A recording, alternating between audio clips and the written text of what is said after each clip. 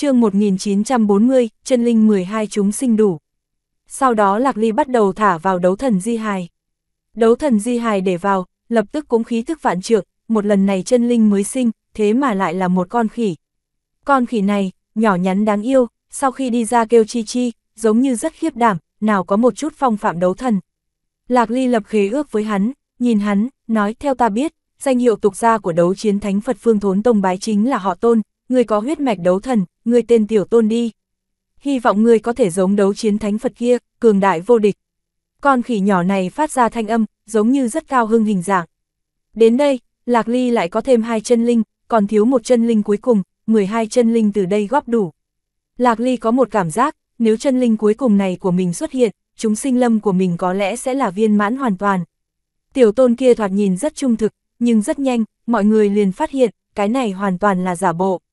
Hắn đang thích ứng hoàn cảnh, tìm cơ hội, tiểu sát bị tiểu thạch giáo huấn, trung thực một hồi, qua một hồi, lại bắt đầu ngứa ra. Tiểu tôn trung thực vô cùng này nhất thời thành mục tiêu của hắn, không có việc gì thì tới đùa giỡn một chút. Tiểu tôn không nhúc nhích, bộ dạng giống như rất trung thực, chỉ một lúc, con khỉ này liền biến dạng, thế mà bắt lấy cơ hội, lập tức cưỡi đến trên người tiểu sát, khỉ cưỡi hổ, cưỡi lên thì sẽ không buông tay. Sau lần này, tiểu sát triệt để bị thu thập, chỉ có thể kêu to ngao ngao, lại không thoát được con khỉ cưới hổ này. Đến đây Lạc Ly góp đủ 11 chân linh, còn thiếu một cái cuối cùng một. 12 chân linh, sắp phiên mãn, chư thần đạo đại thành. Lạc Ly mỉm cười, rất cao hứng, đại đạo hướng phía trước, mặc dù gian nan, nhưng từng bước tiến lên, dưới chân có dễ. Hắn lại một lần nữa trở về dưới chân ma sách, bắt đầu tu luyện các loại thiên ma công, mượn đó đột phá. Mảnh vỡ tinh hạch thu được, Lạc Ly không biết là cái gì, hắn ở trong thiên ma tông tìm một phen, cũng chưa tìm được vật ấy là vật gì, cuối cùng chỉ có một cách, hiến tế. Thiên ma hiến tế, tế đàn khởi động, lấy ra cống phẩm, tìm đáp án. Chẳng qua dùng để cầu hỏi, mảnh vỡ tinh hạch này rốt cuộc là cái gì, ước chừng khiến Lạc Ly lấy ra tế phẩm giá trị 1 tỷ linh thạch, lúc này mới nhận được đáp án. Rất nhanh, Đại Thiên Ma đã có câu trả lời. Vật này, chính là chân linh ấn ký của thế giới, ghi lại một thế giới mới sinh, trưởng thành, hưng thịnh, suy bại, hủy diệt, trong đó ẩn chứa tất cả của một thế giới, dấu vết cuối cùng của thế giới này. Cho nên trong đó ẩn chứa vô tận nguyên thủy chi khí, hỗn độn chi khí, tiên thiên chi khí, thái sơ chi khí, chân nhất chi khí, âm dương chi khí, càn khôn chi khí, thái thượng chi khí, thái hư chi khí. Có thể khiến tất cả trở về gốc, có thể khiến tất cả trở thành thật. Hiến tế cho ta, có thể khiến ngươi lập tức đột phá phản hư, tiếp tục tấn thăng, thẳng đến phi thăng chân ma giới. Lạc ly cười, mình đi cái gì chân ma giới, đi tới đó làm ma trùng, bị người ta ngắt lấy. Muốn đi cũng là đi tiên giới. Đại thiên ma kia tiếp tục truyền tin, vật ấy diệu dụng vô cùng, chính là luyện chế đỉnh phong trí tôn hốn nguyên đại la trí cao thần khí, cũng chính là tài liệu pháp bảo cấp 13 phải có. Vật ấy, có thể dùng để mở thế giới vị diện. Vật ấy, có thể dùng để luyện chế không gian pháp bảo bàn cổ thế giới. Vật ấy, tu sĩ có thể ở sau khi tấn thăng phản hư cảnh giới, hóa sinh dương thần, hút vào bộ phận linh lực trong đó, dương thần kia có thể có được chân nhất chi lực, nguyên thủy chi nhất, tiên thiên chi lực, càn khôn chi lực, hỗn độn lực, âm dương lực, thái hư lực, thái sơ lực, thái thượng lực, tiết kiệm 3.000 năm tu luyện. Vật ấy, mảnh vỡ tinh hạch này có vô số tác dụng, Lạc Ly thở ra một hơi dài, tốt lắm, tốt lắm, một lần này quả nhiên chiếm được thứ tốt, thứ tốt này, tất nhiên phải để mình dùng. Xem ra, đến lúc mình kết thành dương thần chẳng qua chỉ là kết thành dương thần, mình cũng không thể tấn thăng phản hư, bởi vì mình còn chưa tìm được con đường tích lũy thiên khuynh phong. Chớp mắt 3 năm sau, dưới chân ma sách, Lạc Ly bắt đầu liều mạng tu luyện. Thiên ma âm dương nguyên đô sách, thiên ma nguyên từ linh quang tuyệt diệt, thiên ma thái hư luân hồi chuyển, thiên ma phá thế âm sát, thiên ma quỷ khắp sơn hà, thiên ma hư không đoạn giới, thiên ma vạn hủy câu tuyệt, thiên ma cửu tuyệt vệ thiên, thiên ma huyết kiếp thương khung, thiên ma lục hỏa cấm thức, thiên ma tử tinh lục huyết, thiên ma thất tà đồ lê, thiên ma huyết đồ tam cấm lục phàm diệt, vô số thiên ma công, Lạc Ly bắt đầu tu luyện, loại tu luyện này, chính là lấy hắn sơn chi thạch, để công ngọc, phàm gặp phải bình cảnh không hiểu, lập tức hiến tế. Ma đàn này vừa lên, dâng bảo vật hiến tế, lập tức đại thiên ma kia ban hồi báo, tu luyện rất nhiều ma công dễ như trở bàn tay, nhẹ nhàng nắm giữ. Chính là lạc ly đại tài chủ giàu có này, hiến tế như thế, cũng bắt đầu có chút đau lòng, vô số tài nguyên hiến tế như nước chảy. Lạc ly ở trong chúng sinh lâm bắt đầu phân liệt ra từng phân thân, mỗi một phân thân tu luyện một loại ma công, chỉ tu luyện đến cảnh giới nguyên anh. Từng bước, rất nhiều thiên ma công, Lạc Ly bắt đầu điên cuồng nắm giữ. Dần dần, ở trong đầu hắn bắt đầu xuất hiện một ý tưởng, một con đường tích lũy liên quan với hỗn nguyên tông thiên khuynh phong hóa thần cảnh giới. Lạc Ly đến dưới thiên ma sách này tu luyện, ba năm qua tham gia mấy lần tiểu đấu trung đấu, đều đánh bại đối thủ. Một ngày, Lạc Ly thở ra một hơi dài, được rồi. Trong nháy mắt, ở trên người hắn, khí thế dâng lên vô tận. Trong nháy mắt, một loại lực lượng cường đại chộp vào trên người Lạc Ly, lập tức Lạc Ly biến mất. Đây là thủ đoạn bảo vệ của chân ma sách, không ít ma tu, ở đây tu luyện ngộ đạo, hiện tượng lạ trên người vừa nổi lên, lập tức sẽ bị truyền tống đi, đưa tới nơi an toàn, bắt đầu tấn thăng cảnh giới. Nhìn thấy Lạc Ly biến mất, ma tu chung quanh liền ùn ùn nói. Không thể ngờ, Bắc Hà chân quân khô mộc phùng sinh, thế mà tấn thăng cảnh giới rồi. Ta thấy một lần này tuyệt đối là tấn thăng hóa thần, thật sự không thể ngờ được. Thi đấu nhỏ một lần trước, Bắc Hà chân quân dùng ra thiên ma quỷ khốc Sơn Hà, đánh bại mộng yểm chân quân, ta khi đó đã biết, kẻ này tuyệt không phải vật trong ao. Ở trong tiếng nghị luận của mọi người, Lạc Ly xuất hiện ở trong một chỗ ngoại vực động thiên, ở một tiếng nổ này, chín đại âm thần phân thân của Lạc Ly lập tức xuất hiện hết.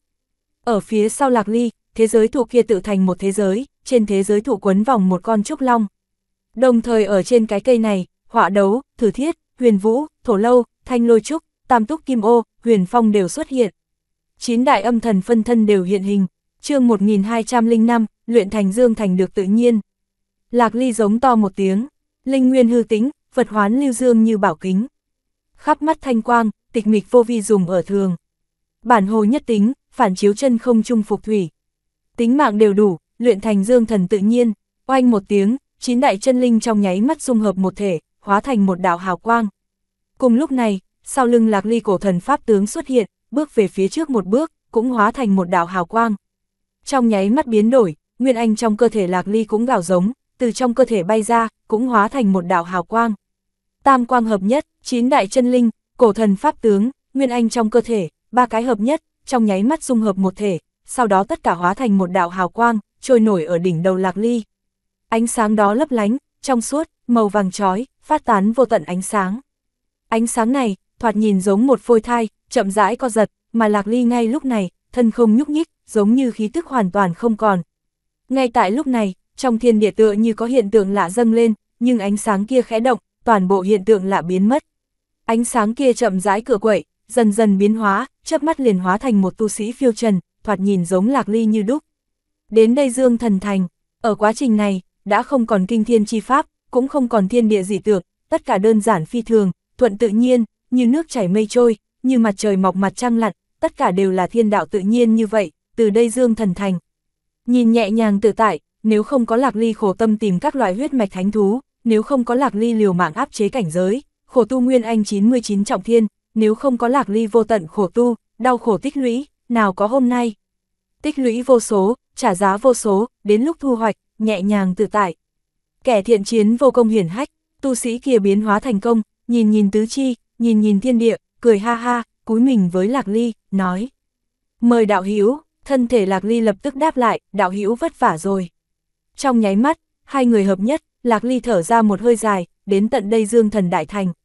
Nếu muốn tấn thăng phản hư, chỉ cần nhẹ nhàng một hơi, dẫn đến thiên lôi hạo kiếp, vượt qua hạo kiếp, chính là thành công.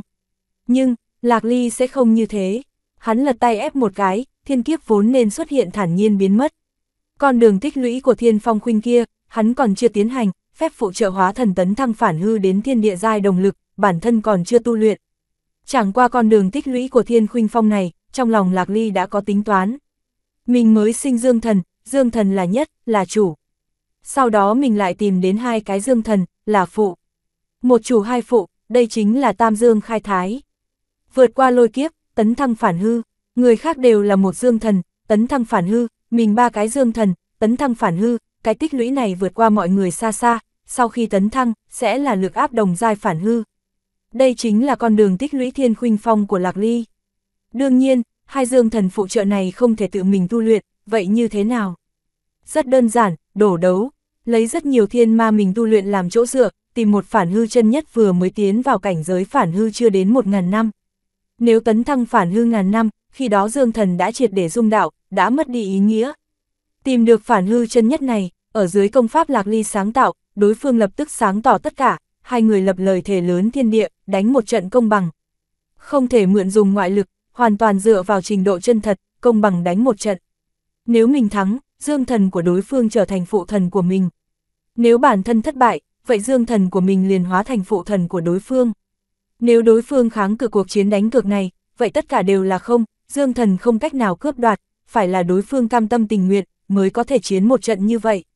Chỉ có đối phương có lòng tham trong lòng, liều sống chết một phen, chiến một trận công bằng, phép này mới có thể phát huy tác dụng, kẻ thắng đạt được tất cả, kẻ thất bại mất đi tất cả. Được dương thần phụ trợ, Lạc Ly còn phải tế luyện một phen, sau đó một chủ hai phụ trợ, Tam Dương khai thái, đến đây Dương thần đại thành. Loại cược này, không thể ức hiếp lương thiện, không thể giết người.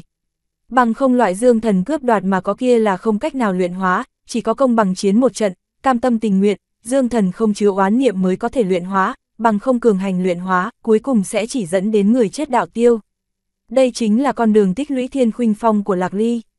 Lạc Ly chưa phát hiện, bản thân ở trong bất chi bất giác đã bị thiên ma tông thay đổi, loại chiến đấu cướp đoạt này, thật ra chính là đoạt đạo cơ của người khác, đúc đạo quả của mình. Chẳng qua, phép này thật ra cũng có một cái hạn chế. Đó chính là dương thần của Lạc Ly quá mạnh, dương thần phụ trợ phải mạnh tương tự, mà thiên hạ rất nhiều phản hư, chỉ có dương thần phản hư chân nhất của mấy tông môn mới có thể phù hợp điều kiện này. Đó là phản hư chân nhất của 10 đại thượng môn trong thiên hạ. Trừ bọn họ, còn có một số môn phái cực ít thích hợp. Lạc Ly nghĩ tới cửu dương giáo đầu tiên, cửu dương giáo, đại địch thủ của hỗn nguyên tông, lần trước thiếu một điểm phá diệt hỗn nguyên tông, đây là tử địch, dù đánh giết phản hư của đối phương, cũng là báo thù rửa hận. Nhưng đối phương rất mạnh, bằng cái gì Lạc Ly cho rằng bản thân nhất định có thể thắng. Lạc Ly cười hắc hắc, hắn chợt duỗi tay ra, mảnh vỡ tinh hạch treo ở ngực bay lên, hắn dùng sức hút một cái, nhất thời trong mảnh vỡ tinh hạch kia, một đám khí tức bị hắn hút vào trong miệng. Hút xuống một cái, trên mảnh vỡ tinh hạch, vốn là chín lỗ, nhất thời ít đi một lỗ. Khí tức mảnh vỡ tinh hạch kia rót vào trong cơ thể Lạc Ly, Lạc Ly thở ra một hơi dài, giống như rất là thoải mái. Dương thần nọ ở phía sau hắn lại một lần nữa xuất hiện, ở phía trên dương thần này, chín đạo khí tức không ngừng lưu chuyển. Chân nhất lực, nguyên thủy chi nhất, tiên thiên lực, càn khôn lực, hỗn độn lực, âm dương lực, thái hư lực, thái sơ lực, thái thượng lực. Rất lâu sau, dương thần kia cũng than thở một tiếng, thể tích dương thần ước chừng mở rộng gấp 10, sau đó chậm rãi áp xúc trở về kích thước ban đầu. Một cái hít này, tiết kiệm cho dương thần của Lạc Ly 3.000 công tu luyện. Dương thần hóa thành, cũng chỉ là một bước nhỏ tu luyện cảnh giới hóa thần của Lạc Ly. Hắn cần luyện thành tam dương khai thái, cần hoàn thành thời lai thiên địa giai đồng lực, mới có thể tấn thăng phản hư. Như thế, không phải vì hiện tại, mà là vì tương lai. Như vậy tiến vào phản hư cảnh giới mới sẽ mạnh hơn, lực áp đồng giai, vô địch phản hư. chương 1206, trồng độc giác thu thập giai kiếm. 1. Chỉ có nhẫn nại, chỉ có tích lũy, chỉ có trả giá, mới có thể một bước lên trời, nhận được thu hoạch vô cùng to lớn. Tất cả hoàn tất, Lạc Ly thở ra một hơi dài, trong nháy mắt lóe lên một cái, trở về dưới chân ma sách kia. Trở lại chỗ này, lập tức vô số tu sĩ tới chúc mừng. Chúc mừng Bắc Hà đạo hữu tấn thăng hóa thần. Không thể ngờ Bắc Hà đạo hữu khí vận như thế, đại đạo có hy vọng rồi. Chúc mừng, chúc mừng. Lạc Ly mỉm cười, nhất nhất trả lời. Sau đó hắn nhìn về phía chân ma sách, tiếp tục ngồi xuống tu luyện. Nhất thời tu sĩ bên cạnh nghị luận, nhìn xem người ta, tấn thăng hóa thần, lập tức trở về tu luyện. Ai, khó trách người ta có thể tấn thăng hóa thần, thành đại đạo, loại tinh thần này, tự xấu hổ không bằng. Chúng ta cũng đến đi, nhanh tu luyện đi. Một lần này, Lạc Ly xem không phải chân ma sách, mà là thiên ma bảng trên chân ma sách. Trên bảng, rất nhiều tên họ, từng hàng trong tầm mắt. Danh hiệu Thái Ất Ma Tôn của Tô Thải chân kia, 8 năm chưa thay đổi. Lạc Ly cười, chậm rãi ngồi xuống, tiếp tục tu luyện. Mặc dù Dương Thần đã thành, nhưng Dương Thần chưa ổn định, ít nhất cần mấy năm thời gian đem nó củng cố. Mặt khác đoạt lấy Dương Thần của người khác, cái này không phải nói giỡn, cường giả phản hư vô số, một bước sai, cả đời mình vất vả đều bị làm áo cưới cho người ta. Cho nên không cần vội, tất cả đều phải thiên đạo tự nhiên, ninh tĩnh trí viễn, đường còn dài. Rất nhiều thiên ma pháp khác, mình còn có không ít chưa tu luyện. Trong chúng sinh lâm kia của mình, rất nhiều ma tu phân thân ban đầu chỉ là cảnh giới Nguyên Anh, cũng nên tấn thăng hóa thần rồi. Đường của mình còn dài, tiếp tục tu luyện, năm tháng như thoi đưa, mặt trời mọc mặt trăng lặn, chớp mắt đã 5 năm. Ở 5 năm này, Lạc Ly ở dưới chân ma sách, đem dương thần triệt để ổn định, kiên cố như một, hoàn thành đại thành. Đem 108 thiên ma pháp kia, luyện thành 72 pháp trong đó, còn lại 36 pháp cũng hiểu ra, nhưng thiếu điều kiện cần thiết, không có cách nào luyện thành. Ví dụ như thiên ma vũ kia, cần nữ thân mạn vũ, cái này Lạc Ly đánh chết cũng không luyện được. 5 năm khổ tu, ở trong lúc đó, Lạc Ly cách mỗi nửa năm, liền làm thành một lần cảnh tượng lạ cảnh giới tấn thăng, nhất thời khiến vô số người kinh ngạc. Lúc này, Lạc Ly đã bắt đầu bố cục, chuẩn bị đi lên thiên ma bảng, thay thế vị trí của Tô Thải Trân, đem nàng đá khỏi thiên ma bảng. Nếu là vui vẻ, thì đi cùng ta, nếu không vui, thiên địa to lớn, có thể để nàng mặc sức ngao du. Đến đây cho nàng tự do, Lạc Ly đến đây đã 8 năm, ở 8 năm này, đến mỗi mùng 1, Tô Thải Trân sẽ vụng trộm gặp mặt Lạc Ly. Nhưng cái gặp nhau này rất vội vàng, Tô Thải Trân đều là nói được mấy câu liền lập tức rời khỏi, mà Lạc Ly say mê trong tu luyện, cũng không để ý. Hôm nay không sai biệt lắm, Lạc Ly lặng lẽ truyền tin, muốn gặp Tô Thải Trân. Lại là mùng 1, dựa theo hai người ước định, Lạc Ly rời khỏi đại điện chân ma sách, tới một chỗ u ám, trong nháy mắt không gian xoay chuyển, tới cái hang rộng rãi trong lòng đất. Tô Thải chân lại đến đây, đầu mỗi tháng, Tô Thải chân đều sẽ ở trước đại điện thiên ma, múa cho thiên ma bản tôn pháp tướng, sau khi dâng điệu múa, thiên ma ban phúc, ở trong lúc đó, không có bất luận kẻ nào có thể truy tung dám thị nàng. Một lần này, Lạc Ly Dương thần đại thành, tâm thần trở về, không trầm mê tu luyện, đã nhìn Tô Thải chân một lần. Một cái nhìn này qua đi, một cái nhìn linh tê, thần nhãn khẽ động, nhìn thấu thiên địa, Lạc Ly liền sửng sốt, nói. Phản hư hậu kỳ, một lần trước gặp nhau, Tô Thải Trân chỉ phản hư sơ kỳ, thì ra nàng luôn ngụy trang bản thân, cảnh giới áp chế ở phản hư sơ kỳ, không thể ngờ 8 năm thời gian, nàng thế mà đã tiến vào phản hư hậu kỳ, làm Lạc Ly rất là giật mình. Tô Thải Trân cười, nói, ngươi sao có thể nhìn ra được. Phải, ta đã tấn thăng phản hư hậu kỳ, kể từ khi ngươi đi tới thiên ma tông chúng ta, ma chủ đại nhân bắt đầu ban phúc, vô tận ma khí ban xuống, ta lập tức nhận được vô số chỗ tốt, cảnh giới tăng vọt. Ta cũng không ngờ tới, cuộc đời chính là kỳ diệu như thế. Lạc Ly nhíu mày, nếu Tô Thải chân phản hư giai đoạn đầu, mình đánh bại nàng không chút vấn đề, nhưng hiện tại nàng phản hư hậu kỳ, thực lực tăng vọt, mặc dù mình dương thần đại thành, nhưng đánh bại nàng, không thể xác định. Chẳng qua mình đã đáp ứng đối phương, thì phải làm được. Đã nói thì phải làm. Lạc Ly nói, đúng, ta tu luyện không sai biệt lắm, tương lai trong 2 năm, ta có thể làm ra hiện tượng lạ phản hư tấn thăng, sau đó giả mạo phản hư chân nhất, hướng ngươi khiêu chiến. Ngươi ta chiến một trận, ta đánh bại ngươi, đoạt lấy vị trí thái ất ma tôn, ngươi liền có thể được tự do rồi. Tô Thải Trân rất lâu không nói lời nào, sau đó nói, cái này, cái này, ta phát hiện, không phải như ta nghĩ như vậy. Mà anh huyền tuyết tính cùng ma hậu tiêu ức tình, cũng không có dấu hiệu sống mái với nhau, thoạt nhìn ta ở thiên ma tông vẫn rất an toàn. Cái đó, cái đó, ta không muốn hiện tại liền từ đi cửu tôn danh hiệu. Lời này vừa nói ra, Lạc Ly nhất thời không lời nào để nói. Thật sự là mỗi lúc một chuyện, Lạc Ly nói, cái này là ngươi nói, xin ta giúp, ngươi muốn tự do, nhưng hiện tại ngươi lại. Tô Thải chân lập tức ôm lấy cánh tay Lạc Ly, cầu xin nói, xin thứ lỗi, xin thứ lỗi. Cho ta một ít thời gian nữa, 10 năm, cho ta 10 năm. Lúc này Tô Thải chân như bộ dạng năm ấy, nhìn thấy nàng như thế, Lạc Ly thở dài một tiếng, nói, được rồi, ta đợi ngươi 10 năm. Nếu trong 10 năm, ngươi còn chưa có nguyện vọng để ta đánh bại ngươi. Ta liền rời khỏi thiên ma tông, nếu tương lai, ngươi còn muốn ta giúp ngươi giải thoát, ngươi vẫn có thể tìm ta một lần. Nhưng một lần đó, sẽ là cuối cùng một lần ta giúp ngươi. Tô Thải chân kiên định gật đầu, nói ta biết, ta biết, trong thiên địa này chỉ có Lạc Ly đối tốt với ta nhất. Lạc Ly trở về chân ma sách, không khỏi lắc lắc đầu, nói thật, nếu thật giao thủ, mình chưa chắc có thể đánh bại phản hư hậu kỳ Tô Thải chân. Thẳng tới nay Lạc Ly giao thủ phản hư chân nhất, đều là phản hư sơ kỳ, hậu kỳ đại tu sĩ, trừ kiếm thần, Lạc Ly còn thực chưa gặp được mấy ai. Sở dĩ lại ở đây định ra ước hẹn 10 năm, là vì Lạc Ly tính ở đây 10 năm, làm một việc lớn. Đó là luyện chế một thanh thần kiếm cấp 10. Mình có hai pháp bảo cấp 10, thánh hỏa thiên tôn kia lợi hại cỡ nào, cuối cùng còn không phải chết ở dưới hỗn nguyên kim đăng của mình. Công phu cao tới đâu, cũng sợ ra hỏa diệu. Hỗn nguyên kim đấu thu thiên địa vạn vật, là pháp bảo phụ trợ. Hỗn nguyên kim đăng, phòng ngự vô địch, là pháp bảo phòng ngự. chương 1206, trồng độc giác thu thập giai kiếm. 2. Cho nên mình còn thiếu một pháp bảo công kích vô địch, vừa lúc có cái sừng đơn kia của Thánh Hỏa Thiên Tôn, đây là tài liệu cấp 10, đem cái sừng đơn này luyện thành một cây thần kiếm cấp 10. Thiên hạ các bảo bối nếu luận công kích, thần kiếm số 1. Lạc Ly luyện chế thần kiếm cấp 10 này, thật ra có hai cách, một cái chính là Đại Thiên Ma Tế Đàn, trả tế phẩm, do Đại Thiên Ma luyện thành thần kiếm. Nhưng, Lạc Ly sẽ không thế, những năm nay vì tu luyện Thiên Ma chư Pháp, tế phẩm trả giá vô số, vô số kho hàng hóa, rất nhiều đã trống trơn. Cho nên Lạc Ly không muốn dùng đại thiên ma nữa, gia hỏa này phí dụng quá cao. Mà một cách khác, đó chính là ruộng tiên của Thái Sơ Phường Thị. Những năm qua, ruộng tiên đã nghỉ ngơi hoàn tất có thể sử dụng rồi. Thứ này, mặc dù cũng là trả giá, nhưng so với đại thiên ma trả giá, tiết kiệm hơn vô số. Lạc Ly trở về Thái Sơ Phường Thị, nhìn Thái Sơ Phường Thị, nói.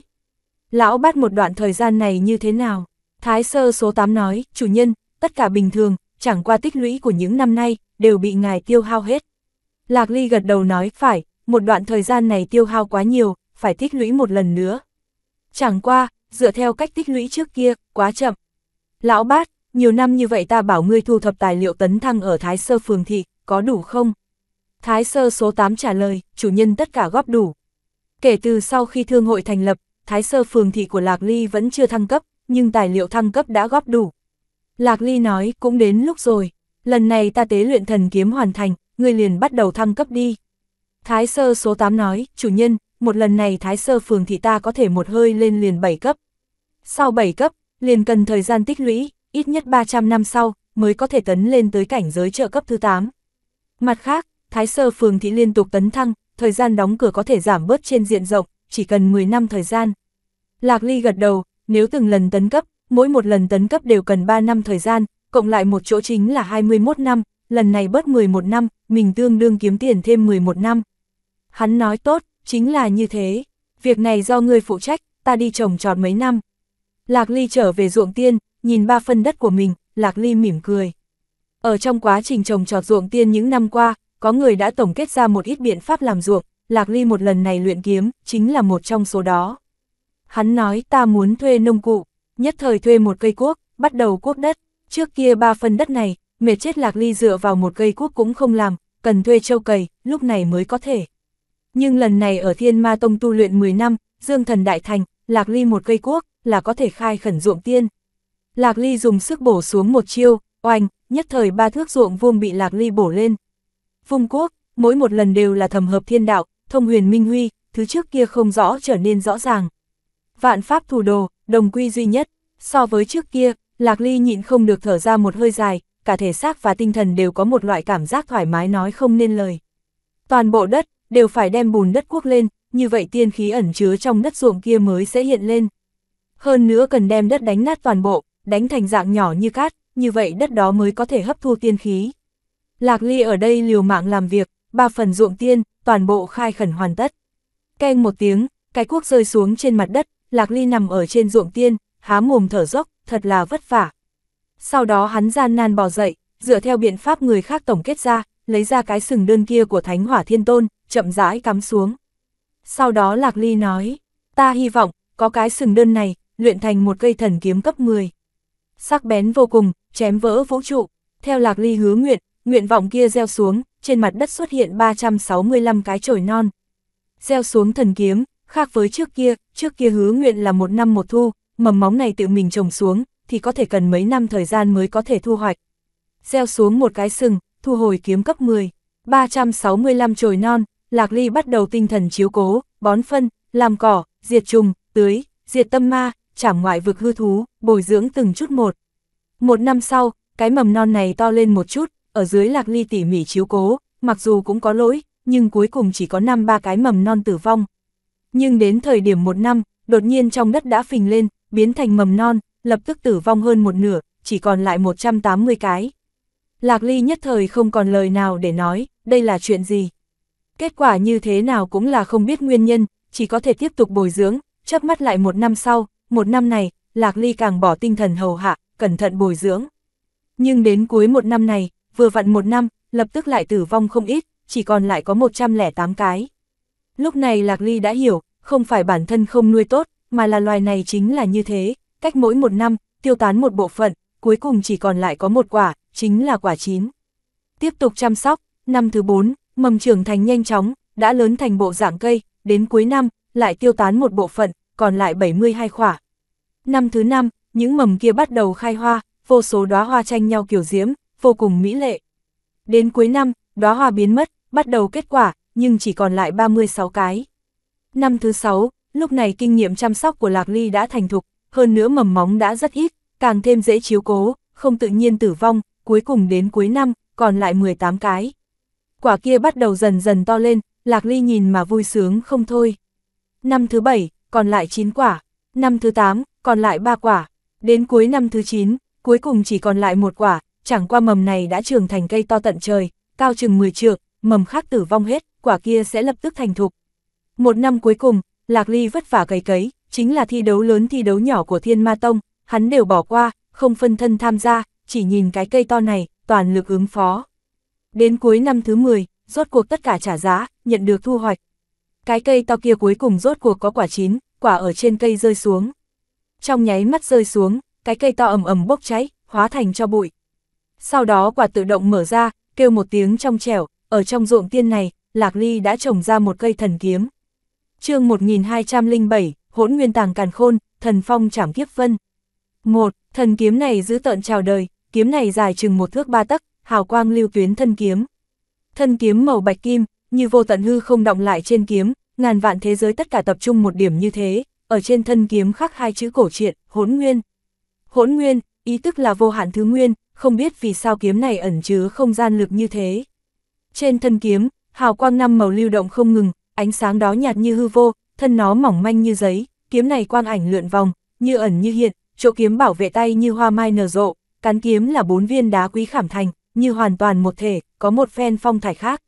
Nhìn như kinh hồng, lại nặng tựa núi, hơn nữa kiếm quang nhìn như nội liếm thâm trầm, ánh mắt vừa đối vào, nhất thời liền có một loại cảm giác hai mắt tối sầm, như ngay cả thần hồn cũng sắp bị thanh thần kiếm này hấp thụ ra. Cẩn thận nhìn tiếp, hào quang bạch kim kia, giống như từng đạo hư không, một tầng trồng chất một tầng, thần thánh vô cùng, lại phát tán một tầng khí sắc bén trong trẻo, một cỗ kiếm ý lẫm liệt bức người tràn ngập tám phương. Lạc Ly càng nhìn càng vui vẻ, cầm trong tay, vô cùng cao hứng. Hắn chậm rãi nói, cấp 10, thần kiếm cấp 10. Quá tốt rồi, phía trước có hỗn nguyên kim đấu, hỗn nguyên kim đăng, vậy mày chính là hỗn nguyên kim kiếm. Hỗn nguyên tàng càn khôn, thần phong chảm kiếp vân, lời rơi xuống, thần kiếm kia kêu một tiếng trong trẻo, giống như phụ họa. Thanh hỗn nguyên kim kiếm này khác với lục tiên kiếm lần trước. Lục tiên kiếm kia thanh danh hiển hách, thiên địa vô địch, nhưng lại luôn có một loại cảm giác không thuộc về mình, thời khắc mấu chốt luôn tự chủ trương, ở trong không gian của mình, luôn có một loại cảm giác đến là khách, bản thân chỉ là mượn mà thôi. Mà hỗn nguyên kim kiếm này, chính là mình diệt cường địch, lấy tài liệu, vất vả bồi dưỡng ra, ở trên kiếm này, có một loại cảm giác huyết mạch tương liên với mình, giống như một bộ phận thân thể tay chân của mình, Lạc Ly vô cùng vui vẻ. Kiếm này vừa thành, Lạc Ly hoàn hồn, rời khỏi Thái Sơ Phường Thị. Thái Sơ Phường Thị kêu anh một tiếng, tự động khép lại, bắt đầu tiến hóa, 10 năm sau, mở ra một lần nữa. Lạc Ly trở về dưới chân ma sách, nhìn thoáng qua chân ma sách, được rồi, mình ở đây tu luyện 18 năm, hóa thần kỳ tích lũy, luyện thành thần kiếm cấp 10, công đức viên mãn rồi. Nghĩ đến đây, Lạc Ly chậm rãi phóng ra uy áp hỗn nguyên kim kiếm, nhất thời oanh một tiếng, hư không nơi xa, mây đen dày đặc, tiếng sấm cuồn cuộn.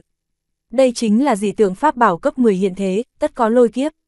Nhất thời Lạc Ly lại bị di chuyển rời khỏi chỗ này, tới chỗ thiên ma tông chuyên môn để mà độ kiếp. Nhưng người khác cũng không biết đây là dị tượng pháp bảo cấp 10 xuất hiện, bởi vì bọn họ cũng chưa từng thấy dị tượng pháp bảo cấp 10 luyện thành này, bọn họ đều cho rằng Lạc Ly sắp tấn thăng phản hư. Không phải chứ, quá lợi hại rồi. Bắc Hà chân Tôn 15 năm trước vừa mới tấn thăng hóa thần, này lại sắp tấn thăng phản hư rồi. Quá khó có thể tin, thế này quả thực thần tốc. Ta biết hắn là thế nào rồi. Thế nào, 15 năm trước, hắn đến đạo chân tinh hải tích lũy ma công, nơi đó xảy ra dị biến, hắn một người quay về cuối cùng, so với người khác chậm hơn chừng nửa ngày. a ta hiểu rồi, hắn ở nơi đó có kỳ ngộ, cho nên mới có thể như thế. Quả nhiên, đại cơ duyên, đại khí vận, bội phục, bội phục, nhất thời một mảng tiếng nghị luận vang lên, có người sáng suốt, phát hiện đạo chân tinh hải biến dị có quan hệ với Lạc Ly, cho nên liền nghĩ như thế. Nhưng có một người, lại nhíu mày không thôi, người nọ rõ ràng chính là tiên nhân vượt giới, đạo đức chân nhất. Ở lúc vừa rồi Lạc Ly dẫn đến lôi kiếp, người khác nhìn không ra, hắn thấy nhiều biết rộng, lại có thể thấy được. Đáng tiếc, chỗ thiên ma tông độ kiếp thần bí khó dò, người ngoài không cách nào quấy nhiễu, thậm chí không cách nào nhìn lén, nhưng hắn vẫn khẽ nói. Kỳ quái, thiên kiếp vừa rồi, tuyệt đối là lôi kiếp bảo vật luyện thành. Tiểu tử này, sao ta cảm giác hắn nhìn rất quen mắt nhỉ? Lúc này, Lạc Ly lại không có tâm tư nghiên cứu những cái này, đỉnh đầu Lạc Ly, oanh oanh, điện chớp sấm rền. Ở nơi độ kiếp kia của Thiên Ma Tông, vô tận kiếp vân dâng lên, lôi kiếp xuất hiện. Chẳng qua, Lạc Ly đối với cái này đã vạn phần quen thuộc, năm ấy hỗn nguyên kim đấu và hỗn nguyên kim đăng, đều là độ kiếp như thế. Mây đen nồng đậm trải rộng bầu trời, đem bầu trời hoàn toàn che phủ, đem Lạc Ly khóa chặt. Trong mây đen, xuất hiện một đám mây màu tím đỏ lửa, đám mây đó dẫn dắt ánh lửa vô tận, từ nhỏ biến thành to, ánh sáng màu lửa đỏ tản ra, giống như bốc cháy ở bầu trời, cả sông núi mặt đất nhất thời vô thanh, cả bầu trời hạo nguyệt nhất thời thất sắc. Uy áp minh mông không biên giới như thực chất hạ xuống, khủng bố làm tâm thần người ta sụp đổ. Lạc Ly ngẩng đầu đứng ngạo nghễ, duỗi tay, ra kiếm. Đây là hỗn nguyên kim kiếm, hỗn nguyên tàng càn khôn, thần phong trảm kiếp phân. Một lần đầu xuất hiện ở thế giới này, hỗn nguyên kim kiếm kia lóe lên, ở bầu trời vang lên phạm âm. Hỗn nguyên tàng càn khôn, thần phong trảm kiếp phân, kiếm quang lóe ra, một kiếm nứt trời, một kiếm chém ra, bất luận bao xa, bất luận cách nhau bao nhiêu thời không, một kiếm hạ xuống, trong nháy mắt đã tới trước mắt, chém, nứt, vỡ, diệt. Ở dưới kiếm này, tất cả không gian, đều không thành trở ngại. Cho dù là lôi kiếp, cũng chém vỡ. Quản ngươi kiếp lôi cái gì, quản ngươi biến hóa thế nào, chém. Một kiếm chém lên, mũi nhọn tất lộ, trên 9 tầng trời giống như nổ tung, soi bên người lạc ly một mảng thông minh. Một kiếm qua đi, thoáng như ngân hà cuốn ngược, giống như xét đánh điện bắn, kiếp lôi nọ hạ xuống bầu trời còn chưa nổ, đã chém nát. Đạo kiếp lôi thứ nhất chém nát, đạo kiếp lôi thứ hai chém nát, đạo kiếp lôi thứ ba chém nát, từng kiếm, chín đạo kiếp lôi, chém nát toàn bộ, một đòn cuối cùng, một tia xét cuối cùng lập tức vỡ nát, hóa thành vạn ngàn lôi quang, tiêu tán bốn phương. Chẳng qua dưới kiếp lôi lần này, hỗn nguyên kim kiếm kia xuất hiện từng cái vết nứt, như lập tức phải vỡ nát, trong vết nứt, lôi quang lập lòe. Chẳng qua theo lôi quang lóe lên, vết nứt kia tự động khôi phục, hoàn hảo như vậy. Đây chính là tác dụng của kiếp lôi, dưới kiếp lôi, pháp bảo cấp 10 tẩy đi phàm trần, sinh trí tuệ, sinh thần trí, trở thành tiên bảo. Kiếp vân trên trời tan đi, ở trên hỗn nguyên kim kiếm kia chậm rãi bay lên một cái bóng người. Cái bóng người này là hình dạng một thiếu niên áo trắng, khuôn mặt lãnh khốc, không mang một tia cười, cả người đứng ở nơi đó, như lưới kiếm, tuyệt không cong một chút nào. Hắn nhìn về phía Lạc Ly, trong miệng nói, bái kiến lão ra. Lạc Ly cười to, đến đây hỗn nguyên kim kiếm này trải qua kiếp lôi, sinh thần trí, trở thành tiên bảo cấp 10 chân chính. chương 1207, hỗn nguyên tàng càn khôn, thần phong trảm kiếp vân. 2. Dựa theo quy củ tu tiên giới, Lạc Ly có thể ban tên cho tiên linh này, Lạc Ly nói, người ta có duyên, đến đây gặp nhau, từ nay trở đi ngàn vạn năm, chúng ta cùng nhau cùng đi đại đạo. Từ hôm nay trở đi, người sẽ tên là, trong nháy mắt, Tiểu Kim và Tiểu Quang xuất hiện, nhìn về phía Lạc Ly, Tiểu Kim nói. Nhất định là cái tên rất khó nghe, Tiểu Quang nói, ta thấy cũng phải, tám phần muốn gọi là Tiểu Kiếm, nghe pháp linh của hai pháp bảo cấp 10 khác của mình phun tào, nhất thời Lạc Ly không còn lời nào để nói, nghĩ một chút, nói, vậy ngươi tên Tiểu Trảm đi, không có tồn tại ngươi không chém được. Thiếu niên áo trắng kia nhất thời cao hứng, nói, đa tạ lão ra tứ danh, ta vui vẻ. Một bên, Tiểu Quang nhíu mày nói, cái này, tựa như hắn không chém vỡ được ta nhỉ. Ta chính là không có tồn tại nào, có thể đánh vỡ phòng ngự của ta. Tiểu Trảm nghe lời này, nhướng mày nhìn về phía Tiểu Quang, một công một phòng, trời sinh là địch thủ, hai người vừa gặp mặt đã bắt đầu đọ sức. Ngay tại lúc này, trong bầu trời nổ vang một tiếng, lại là vô tận kiếp vân dâng lên, mây đen nồng đậm trải rộng bầu trời, đem bầu trời hoàn toàn che phủ, đem Lạc Ly khóa chặt. Lạc Ly thở ra một hơi dài, lại đến, hắn duỗi tay ra, hỗn nguyên kim kiếm biến mất. Kiếm này vừa thành, phá một đạo lôi kiếp đã là cực hạn, phía sau phải nhờ vào biện pháp khác đến phá. Lạc Ly nói, đến đi, ông trời, để lôi kiếp này đến mãnh liệt hơn chút đi. Oanh oanh oanh, lôi quang lóe lên, lôi kiếp hàng lâm. Rất lâu sau, ở trong thiên ma tông kia, bóng người lóe lên, Lạc Ly trở về thiên ma tông. Nhất thời vô số tu sĩ thiên ma tông tới đây chúc mừng, đến đây, thiên ma tông lại nhiều thêm một ma trùng, cả môn thông báo, Bắc Hà chân tôn tấn thăng phản hư chân nhất. Tu tiên đại đạo, từng bước, từ từ mà đến, không nhanh không chậm, ninh tĩnh trí viễn, đường dài miên man. Lạc Ly nhìn thiên ma bảng, không ngừng mỉm cười, năm ấy mình đáp ứng Tô Thải chân ở đây chờ 10 năm, sau đó lại hứa hẹn 10 năm. Hiện tại đã qua 18 năm, qua 2 năm nữa, nếu nàng vẫn không có ý ẩn lui, như vậy mình sẽ rời khỏi. Đến lúc, mình hướng tới cửu dương giáo, tìm phản hư thích hợp. Cửu dương giáo, môn trung thi hào, nhất bộ thiên địa động, cửu dương sinh kim tiên. Tu luyện cửu dương chân kinh, trí cương trí dương, thiên hạ vô song. Dương thần của phản hư chân nhất như thế, vừa lúc thích hợp làm dương thần phụ trợ của mình. Thần kiếm cấp 10 đại thành, Lạc Ly bắt đầu nhớ lại toàn bộ kiếm thuật mình từng tu luyện, thậm chí mấy đại kiếm ý năm ấy, đều một lần nữa nhặt lên. Mình là pháp tu, kể cái gì kiếm pháp pháp thuật, chỉ cần có thể đem uy lực của mình phát huy đến cực hạn, vậy là được. Trong thiên ma 108 phép, trong đó cũng có hai bộ kiếm pháp, nhưng một cái yêu cầu trí tinh trí thuần, mượn cái này diễn sinh hoàng tuyển tuyệt ma tông, một cái yêu cầu luyện kiếm vào người, nhân kiếm hợp nhất, hóa thành kiếm yêu, chính là yêu kiếm ma tông. Hai cái này, đều không thích hợp Lạc Ly, bất hòa bản thân thần kiếm cấp 10, Lạc Ly đều không thích. Nghĩ đi nghĩ lại, cuối cùng chỉ có tuyệt thế kiếm pháp của sư phụ thích hợp thần kiếm cấp 10 này của mình nhất, nhưng mình năm ấy không học, hiện tại muốn học cũng không tìm thấy sư phụ nữa. Không có cách nào, chỉ có thấu hợp trước, đến lúc mà nói, dù không có kiếm pháp, mình cũng có thể đem uy lực của thần kiếm cấp 10 này phát huy ra. Đến đây Lạc Ly vô sự, ở thiên ma tông này ngao du, không có việc gì đi thần hạc điện xem một chút, xem nơi đó còn có cổ thần tàn hài xuất hiện hay không. Một ngày này, ở trên một cái sạp của phường thị thiên ma tông, trong lúc vô ý nhìn thấy trên một chỗ sạp bán một ít mảnh vỡ pháp bảo tàn phá ẩn chứa vô tận cổ thần thần niệm. Lạc Ly cầm lấy mảnh vỡ nọ, cẩn thận cảm thụ, đây tuyệt đối là cổ thần thần niệm, nhưng là cổ thần nào, lại không thể cảm ngộ ra. Lạc Ly hướng chủ sạp hỏi, vị đạo hữu này, mảnh vỡ pháp bảo này, ngươi là ở nơi nào có được? Chủ sạp kia cực kỳ ngông cuồng kiêu ngạo, nói, muốn mua thì mua, không mua thì biến, hỏi nhiều như vậy làm gì? Lạc Ly cười, nhìn hắn, một thiên ma thất tà đồ lê chi a lan thánh ấn, trong nháy mắt lóe lên ở chán đối phương, xuất hiện một pháp ấn kỳ dị, lập tức ánh mắt biến hóa, bắt đầu nói. Thứ này, là ta ở nơi thiên ma hỏa thổ di tích nạn lửa binh phát hiện, nơi đó là một cung điện ẩn bí bị bỏ đi, gần đây mới xuất hiện, chưa ai phát hiện.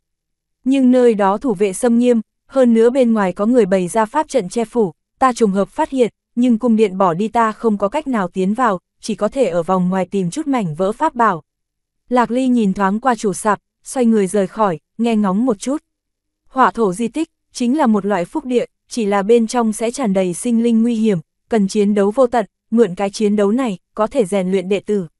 Nơi nạn lửa binh này chính là một trong rất nhiều hỏa thổ di tích của Thiên Ma Tông, truyền thuyết ban đầu chính là một bộ phận của Trung Thiên chủ thế giới, về sau phân liệt ra đại lục, hóa thành hỏa thổ. Nơi nạn lửa binh này, đến nơi nào đó cũng là các loại điện phủ bỏ hoang kỳ dị, trong điện phủ, có 108 loại tà linh, là nơi thí luyện đệ tử Thiên Ma Tông yêu thích. Nhưng ba vạn năm nay, nơi đó tà linh dần dần tan đi, điện phủ đều bị thăm dò không còn, vơ vét sạch sẽ, chỉ còn lại mấy loại tà linh nhỏ yếu, dần dần không ai tới đó thí luyện, xem ra cổ thần tàn hài kia, hẳn là ở đây, bị chủ sạp này trong lúc vô ý phát hiện. Nghĩ đến đây, Lạc Ly quyết định xuất phát, hướng tới nơi đó.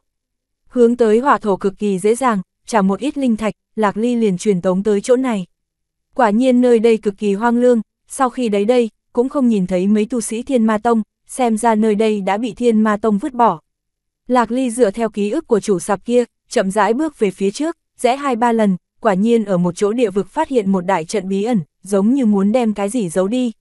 Lạc Ly lập tức gỡ bỏ đại trận đó, tiến vào trong.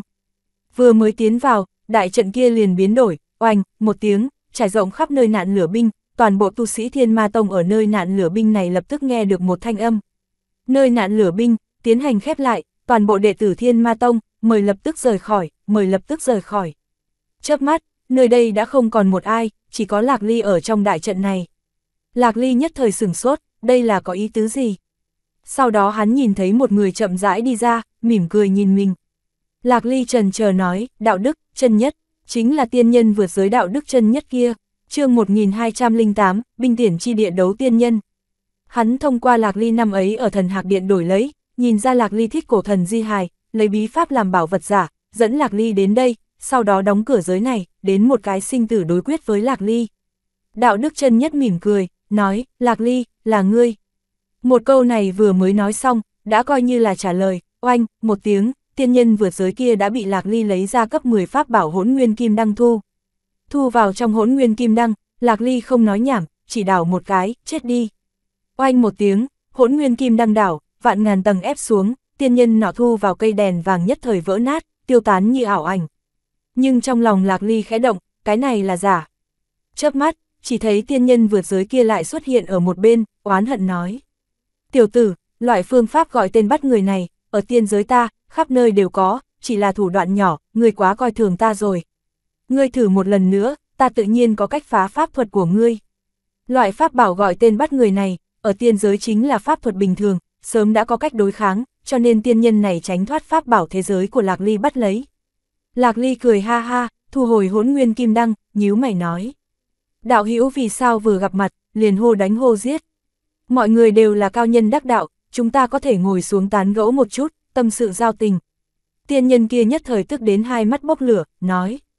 Có cái gì phải nói, chính là ngươi, đoạt máu thịt của ta, đoạt tiên cốt của ta, đoạt tai mũi của ta, chính là ngươi, chính là ngươi. Tiểu tử, nợ máu trả bằng máu đi, hôm nay ngươi mắc bẫy rồi, trốn không thoát nữa. Nói xong lời này, thế giới này bắt đầu biến hóa, trên mặt đất, giống như vô số chân khí vận chuyển, hình thành các khe rãnh, trong bầu trời, vô số phù văn như ẩn như hiện, như trên chín tầng trời, điện ngọc quỳnh lâu, tiên cung diệu vũ chậm rãi xuất hiện. Cả thế giới, đều bị tiên nhân này bày ra thủ đoạn, hắn chính là tiên nhân vượt giới, nắm giữ tiên thuật Lạc Ly thấy cũng chưa từng thấy, hiện tại bắt đầu dần dần lộ ra sự dữ tợn. Lạc Ly há mồm thở dốc, cái đầu hoạt động lên xuống, xem ra việc này không thể thiện nữa, phải đại chiến một trận rồi. Chẳng qua, ở trong lòng hắn cũng là chiến ý vô tận. Tiên nhân vượt giới này, thực lực sâu không thể dò, nắm giữ vô số tiên thuật, có thể nói chính là đại địch thủ số một của cuộc đời hắn. Lạc Ly nhìn đối thủ, lắc đầu nói, ta là trốn không thoát, nhưng tựa như ngươi trốn không thoát, sinh tử một trận chiến, cái này cũng không nói chắc đâu. Nói xong, ánh lửa lóe lên, Lạc Ly dùng ra chân hỏa của mình, cả thế giới, đều giống như theo đó cháy lên. Kệ ngươi bố trí muôn loại, chuẩn bị vạn kiểu, đều cháy cho ta, hóa thành cho bụi đi. Lửa nóng hừng hực, sôi trào mà lên, tất cả, ở dưới ngọn lửa nóng này, đều hóa thành cho bụi. Tiên phủ trên không kia vẫn hiện hình, chỉ là ầm ầm bốc cháy, hóa thành lửa, tiêu tán bốn phương. Đạo đức tiên nhân nhíu mày nhìn Lạc Ly, nói, hay cho một đạo hỏa đức, ta bày ra thập phương chu tiên trận, còn chưa hóa sinh, đã bị ngươi phá, dù là ở tiên giới, cũng có rất ít tiên luyện thành hỏa đức như thế. Thật lợi hại, thật lợi hại, chẳng qua, ta phải cảm tạ ngươi, hỏa đức như thế, ngươi chính là ta, ta cũng là ta. Nói xong lời này, ở trong tay đạo đức tiên nhân này lấy ra một món đồ chơi như loại cái trống lắc của trẻ con, sau đó tùy ý bắt đầu lắc. Keng, keng, keng, thanh âm này rất kỳ quái, mặc dù giống nhau như đúc, lại một âm khiến người ta cao hứng vui vẻ, một âm khiến người ta tức giận thống khổ. Theo hắn lắc, nhất thời Lạc Ly phát hiện, ở trong cái trống lắc đó trào ra thiện công vô tận, rót vào trong cơ thể đạo đức tiên nhân này. Thì ra đây là bảo vật giống như kim tháp của mình. Không đúng, mắt thần của Lạc Ly nhìn một cái, nhất thời phát hiện không đúng. Cái trống lắc kia rõ ràng chính là một pháp bảo kỳ dị, ở hai mặt trước sau đều có một thế giới kỳ dị, trong đó đều có vô số âm hồn. Những âm hồn này, thoạt nhìn, đều là âm hồn mới chết không lâu, hơn nữa đều là bạo tử, oán khí 10 phần, bọn họ ở hai bên thế giới của cái trống lắc này. Cái trống lắc này mặt trái gõ một cái, nhất thời thế giới này hóa thành biển khổ vô tận, vô số tra tấn, trời sụp đất nứt, những âm hồn đó kêu to, cầu cứu hộ. Sau đó mặt phải gõ một cái, bọn họ nhất thời dịch chuyển đến bên phải, rõ ràng chính là cảnh đẹp thiên đường, vô tận phồn hoa, hưởng thụ vô số vui vẻ. Thống khổ biến mất, vui vẻ đến, lập tức bọn họ vạn phần cao hứng, cầu cứu được ứng nghiệm, lập tức vô số công đức bay ra. Lúc này mặt trái lại gõ một cái, bọn họ lại đều rơi xuống bên trái, bắt đầu bị vô tận tra tấn, khổ kêu cầu xin. Sau đó bên phải gõ một cái, lại đến bên phải, lại là trong thiên đường. Thiên đường địa ngục như vậy, chuyển hóa vô tận, bọn họ cung cấp vô tận công đức, trả giá lại là mỗi lần chuyển hóa, âm hồn của bọn họ liền sẽ yếu đi một phần, cuối cùng triệt để tiêu tán, hóa thành cho bụi, hồn phi phách tán. Những phàm nhân này âm hồn tiêu tán, lại mang tới cho đạo đức tiên nhân vô tận công đức. Lạc Ly nhìn thấy một màn này, nhất thời giận dữ. Lớn tiếng quát, khốn kiếp, người giết bọn họ không tính, còn tra tấn hồn phách bọn họ như thế. Ngươi là tiên nhân sao? Ngươi chính là ác ma cũng không bằng, ngươi tên khốn này, luyện người luyện hồn lấy được công đức. Không thể tha thứ, chết đi. Lạc Ly thật sự giận dữ. Hắn đời này hận nhất người khác lấy chúng sinh luyện hồn, bởi vì cha mẹ hắn chính là như thế mà chết, chính mình chưa từng thấy bộ dạng mẫu thân, cho nên nhất thời giận dữ. Chân hỏa kia thiêu đốt vô tận, muốn đem thế giới này luyện hóa. Đạo đức tiên nhân cười nói, những phàm nhân này, chẳng qua là con kiến, phục vụ ta, là vinh dự lớn nhất của chúng. Nói tới đây, hắn nhìn Lạc Ly nói, đại đạo tại thượng, đại đức tại hạ, cường địch liệt hỏa, không hại thân ta. Lời này cùng thưởng thiện phạt ác thần uy của Lạc Ly gần như giống nhau, theo lời hắn, một đạo thiên địa vĩ lực hạ xuống, trong nháy mắt, một đạo thanh quang trên người đạo đức tiên nhân này hóa thành nước chảy, rõ ràng chính là thiên địa chân thủy. Một tia chân thủy này hộ thân, lập tức chân hỏa của Lạc Ly, không cách nào đem hắn luyện hóa.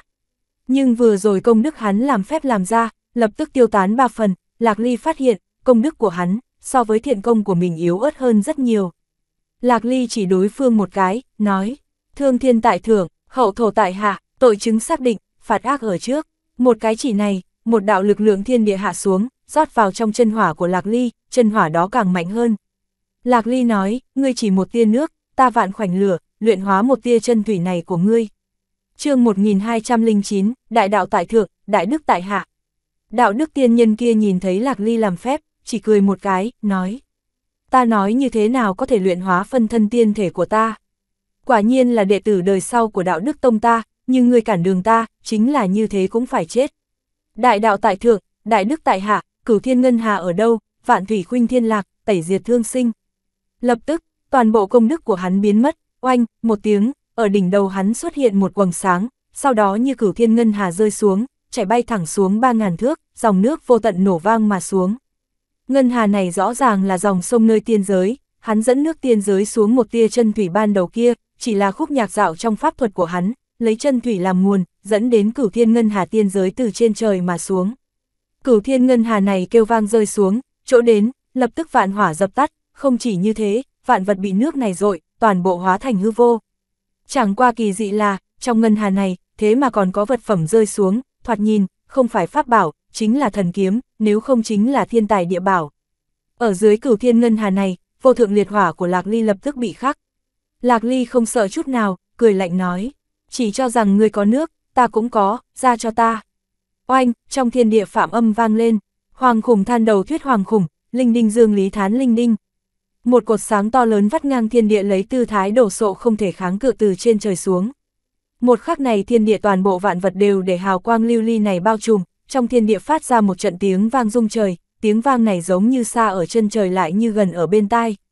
Cột sáng lưu ly này trong nháy mắt liền bày thành tre khắp chân trời, thiên địa ở một giây này để màu lưu ly huy hoàng minh mông nhất thống trị.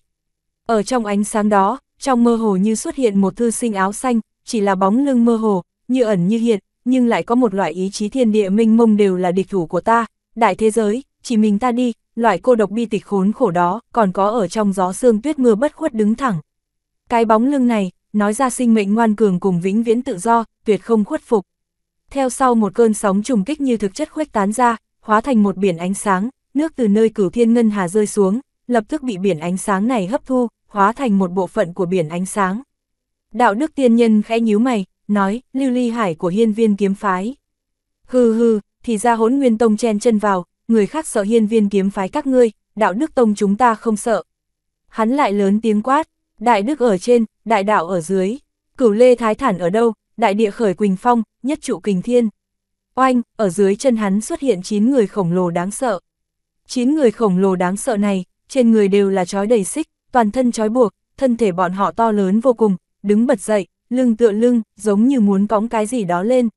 Sau đó ở sau lưng bọn họ xuất hiện một cây cột đá, cột đá đó ầm ầm dâng lên, đạo đức tiên nhân ngay tại phía trên cột đá đó, ngạo nghễ tăng lên. Cả thế giới hóa thành một vùng biển ánh sáng, ở trong biển ánh sáng đó, một cây cột đá ngút trời, đạo đức tiên nhân ngay trên cột đá, nhẹ nhàng xuất trần.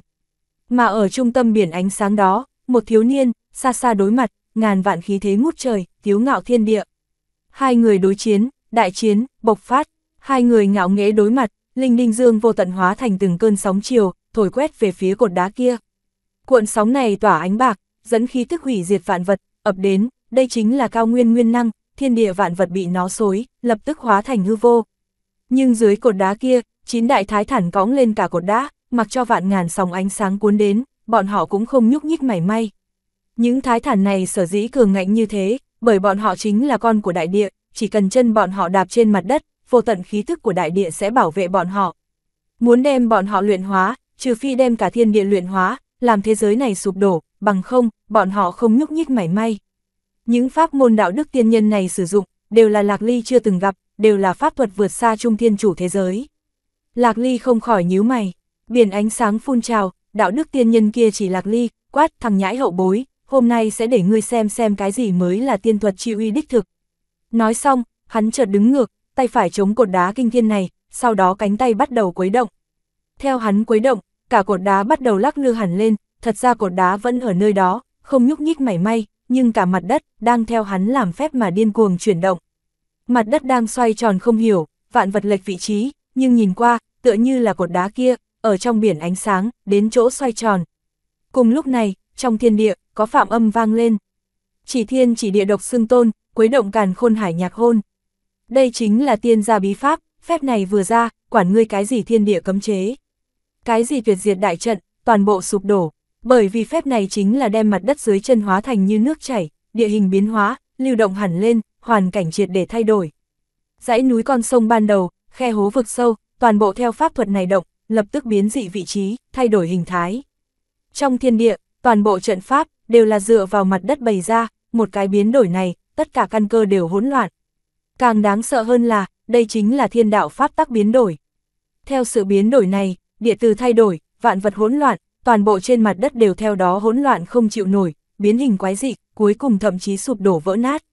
Mà linh ninh dương của Lạc Ly, nhìn như một mảng biển ánh sáng, nhưng chính là ngàn vạn pháp môn vận chuyển cùng lúc, xây dựng thành biển ánh sáng đáng sợ này. Nội bộ lại trật tự rõ ràng, bí pháp vô tận, lúc này mới có thể hình thành biển ánh sáng che phủ trời đất công kích, đặc biệt lưu ly hải hấp thu thánh khư lúc trước, không sai biệt lắm đã là tồn tại thực thể. Nhất thời thu được đại địa hỗn loạn kia ảnh hưởng, cả lưu ly hải, cũng theo đó hỗn loạn hẳn lên, theo quấy động xoay tròn, Lạc Ly dần dần mất đi khống chế. Lạc Ly gật đầu, nói thật lợi hại, hay cho một cái quấy động thiên địa loạn, trong nháy mắt, linh đinh dương kia tiêu tán, đã vô hiệu, vậy thì thu hồi, qua một đoạn mất đi khống chế, muốn thu hồi liền khó. chương 1210, một kiếm nơi tay chảm chân tiên.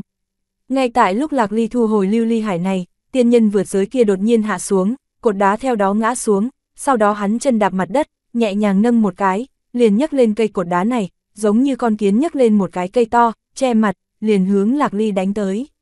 Nhất trụ chấn hải, oanh, ở trong nháy mắt này, đại địa lập tức khôi phục bình thường, biến hóa hai chiều, toàn bộ quỷ dị không hài hòa hóa thành một loại lực lượng, rót vào trong cột đá, sau đó theo cột đá thoáng cái rơi xuống. Một đòn này, nhìn nâng nặng như nhẹ, nhưng lại ẩn chứa uy lực hủy thiên diệt địa, nếu là bị đánh trúng, không cần nói lạc ly, dù là tiên nhân ma tôn, cũng là vỡ nát tử vong. Càng đáng sợ là, cùng lúc này đại địa trở về bình thường, bất luận người tránh né như thế nào, chỉ cần ở một giới này, nhất thời ở ngoài vạn dặm cũng sẽ bị lập tức dịch chuyển đến vị trí ban đầu, dưới cột đá kia, phép này không thể tránh được. Ngay tại thời khắc mấu chốt này, Lạc Ly cười, trong nháy mắt, ở trên người hắn dâng lên một ánh sáng vàng. Trong thiên địa phạm âm vang lên, tất năng phá hoại nhất thiết ác thú, tất năng viễn ly nhất thiết ác hiếu, tất năng chế phục nhất thiết ngoại đạo, tất năng giải thoát nhất thiết phiền não. Nhất thân phục hiện sát trần thân, nhất nhất biến lễ sát trần Phật. Tất cả chúng sinh ngữ, tất lấy chữ âm mà thuyết pháp. Nhất trần trung hữu trần sổ sát, nhất nhất sát hữu nan tư Phật.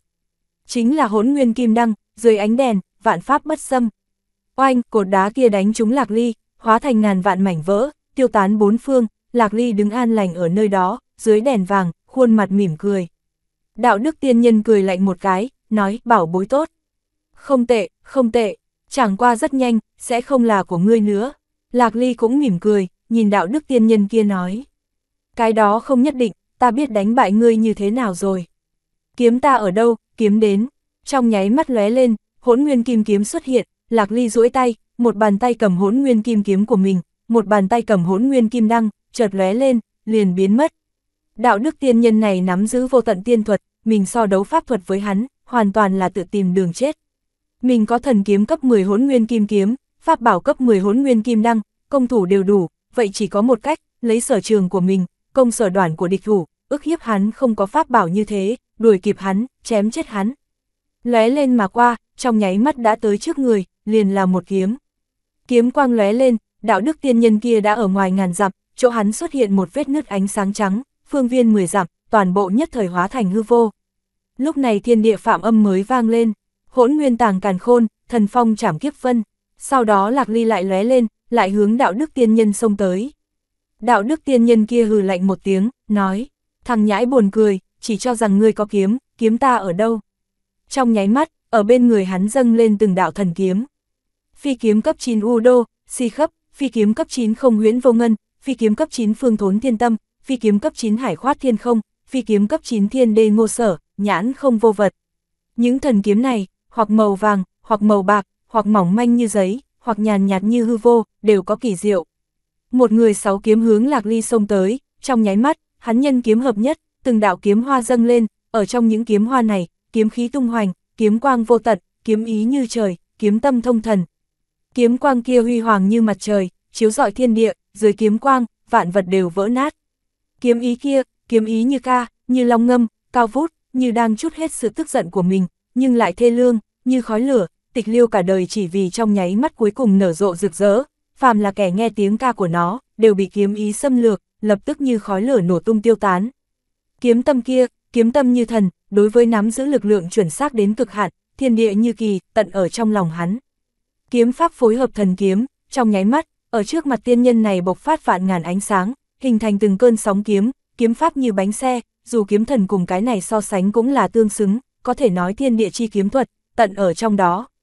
Nhưng Lạc Ly căn bản mặc kệ, cây đèn vàng kia vừa cháy lên, ánh đèn dâng lên, bảo vệ toàn thân, kim kiếm kia dâng lên, một kiếm chém xuống. Lạc Ly không có bất cứ kiếm thuật nào, chỉ chém một cái đơn giản tới cực điểm.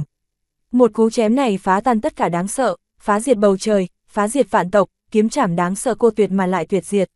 Những kiếm quang đó như hoa tươi nở rộ, từng tầng một hướng ra phía ngoài mở rộng, kiếm quang huy hoàng cuối cùng hình thành một quả cầu ánh sáng to lớn, trên dưới trái phải trước sau, không có bất cứ góc chết nào. Ở dưới kiếm này, vạn kiếp thần tiên khó trốn nạn này, âm dương điên đảo, ma thần lục phong, mặc ngươi biến hóa vô cùng, cuối cùng cũng hóa thành cho bụi. Một kiếm mà thôi, tử nan đà hồn chủ triệt để tiêu vong, bị chém giết tại chỗ, toàn bộ cường giả chủ lực tử nan đà vỡ nát hết, rốt cuộc không cách nào khôi phục sống lại, kiếm quang tiếp tục, vô số tàn hồn tử nan đà, ở dưới kiếm quang này hóa thành cho bụi, triệt để tiêu tán. Một kiếm xuống, sắc một tiếng, phi kiếm cấp 9 U Đô Si khắp vỡ nát, phi kiếm cấp 9 Hải khoát thiên không, phi kiếm cấp 9 Thiên Đê ngô sở, nhãn không vô vật trực tiếp vỡ nát thành ngàn vạn mảnh vỡ. Phi kiếm cấp 9 Phương Thốn Thiên Tâm, phi kiếm cấp 9 không huyễn vô ngân đâm trúng Lạc Ly, nhưng dưới đèn vàng, Lạc Ly không mất một sợi tóc, sau đó bị một chảm kia chém trúng, vỡ nát. Một cú chém này, là tinh túy nhất, tồn chính nhất, đáng sợ nhất. Oanh, oanh, oanh, chớp mắt hai người tách ra, nhìn qua, đạo đức tiên nhân kia, sáu thanh thần kiếm cấp 9 vỡ nát hết, trên người xuất hiện một vết máu, máu tươi màu vàng chảy xuống. Hắn tức giận nhìn Lạc Ly, nhưng Lạc Ly hoàn toàn mặc kệ hắn, lại một cú chảy, lại một cú chém. Đạo đức tiên nhân quát, tiểu tử giỏi, hộ giá ở đâu, cản hắn cho ta. Đợi ta giết hắn, theo câu này của đạo đức tiên nhân, ở trên người hắn phân ra 18 đạo quang mang, những ánh sáng đó trong nháy mắt rơi xuống bốn phương. Oanh, trên đại địa dâng lên cự thạch yêu, trong hư không hóa sinh phong linh tinh, một bên trong một vũng nước, thủy yêu linh đứng lên, lửa chợt nổi lên, hóa thành viêm cự nhân. Trong nháy mắt, ở trước người lạc ly cùng hắn, sinh ra 18 tên các loại hư linh cường đại. Những tinh linh cường đại hư không này, đều giống như cự thạch yêu viêm thần của lạc ly, thuộc cảnh giới phản hư, bọn họ chặn ở trước người lạc ly, bảo vệ tiên nhân đạo đức tông. Tiên nhân đạo đức tông kia sau khi triệu hồi ra 18 hộ giá, hắn duỗi tay, cắn vỡ ngón giữa, ở hư trong không, bắt đầu phát họa đồ án, vẽ phù trên không. chương 1211, 10 vạn chân tiên hoàng kim huyết. Theo những họa phù này, trên miệng hắn bắt đầu nói. Đại đạo tại thượng, đại đức tại hạ, đây là muốn làm phép một đòn tiêu diệt Lạc Ly, phá uy thế pháp bảo cấp 10 của Lạc Ly. Nhưng Lạc Ly sẽ không cho hắn cái cơ hội này, nháy mắt hướng về phía trước.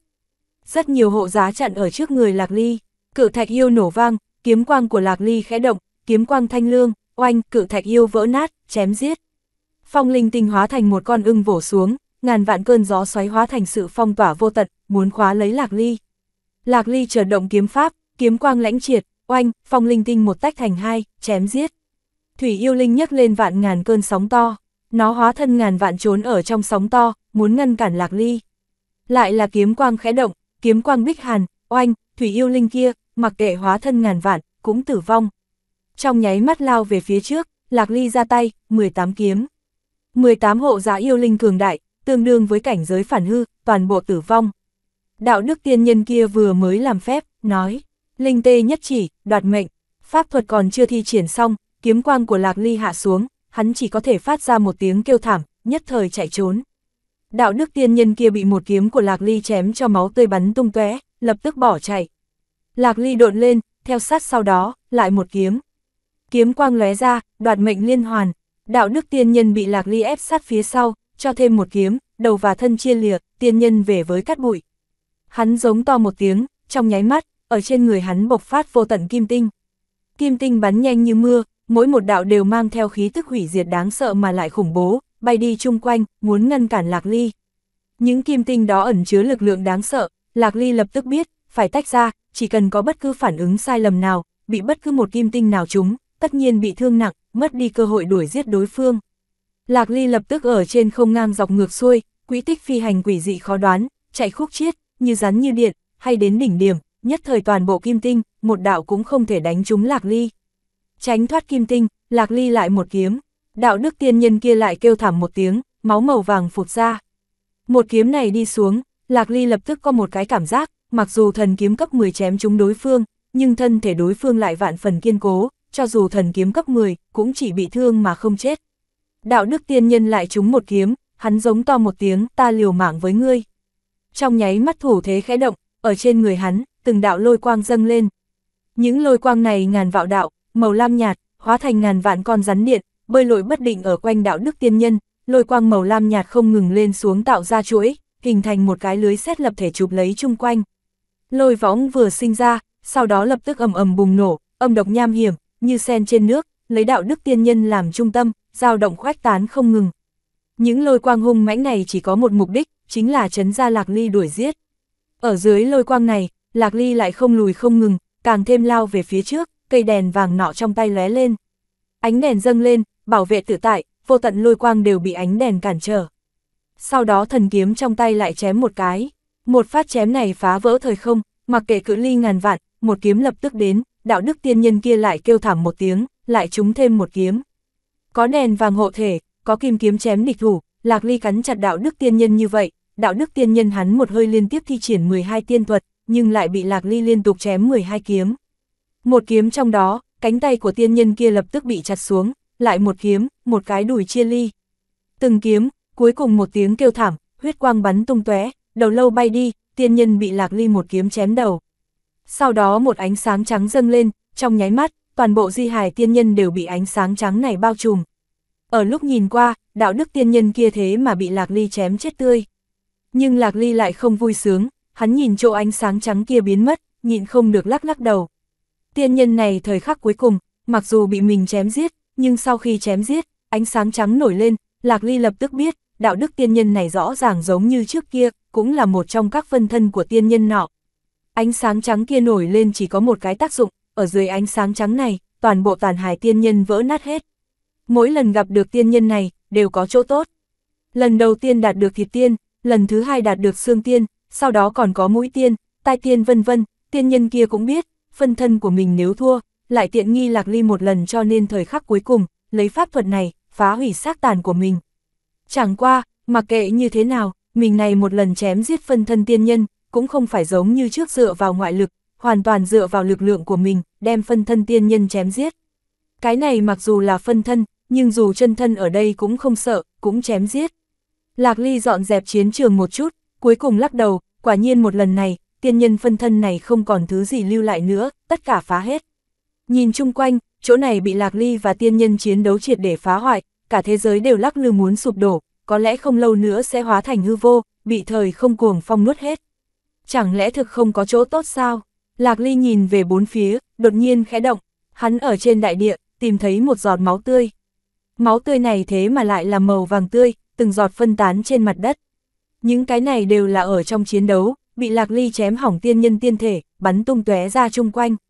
Máu tươi màu vàng này rõ ràng chưa tiêu tán, lăn lộn trên mặt đất, trong đó ẩn chứa vô tận tiên khí kỳ dị, thậm chí một ít máu tươi bắt đầu tự động dung hợp, ngò ngoe muốn động, giống như vật còn sống. Mắt Lạc Ly sáng lên, bắt đầu thu thập những máu tươi này. Tiên nhân kia dâng lên ánh sáng trắng, toàn bộ thi thể vỡ nát, nhưng máu tươi đó lại chưa bị phá hoại bao nhiêu. Cứ thế, Lạc Ly không ngừng thu hồi, cuối cùng đạt được 10 vạn 1625 giọt máu tươi, đều bị hắn cất giữ lại, dung hợp cùng một chỗ. Vì phòng ngừa tiên huyết mất đi linh tính, Lạc Ly bỏ vào gần trăm thượng phẩm linh thạch, bảo trì linh tính, sau đó dùng phù lục trấn áp, miễn cho bọn nó làm ra trò thiêu thân lao vào lửa.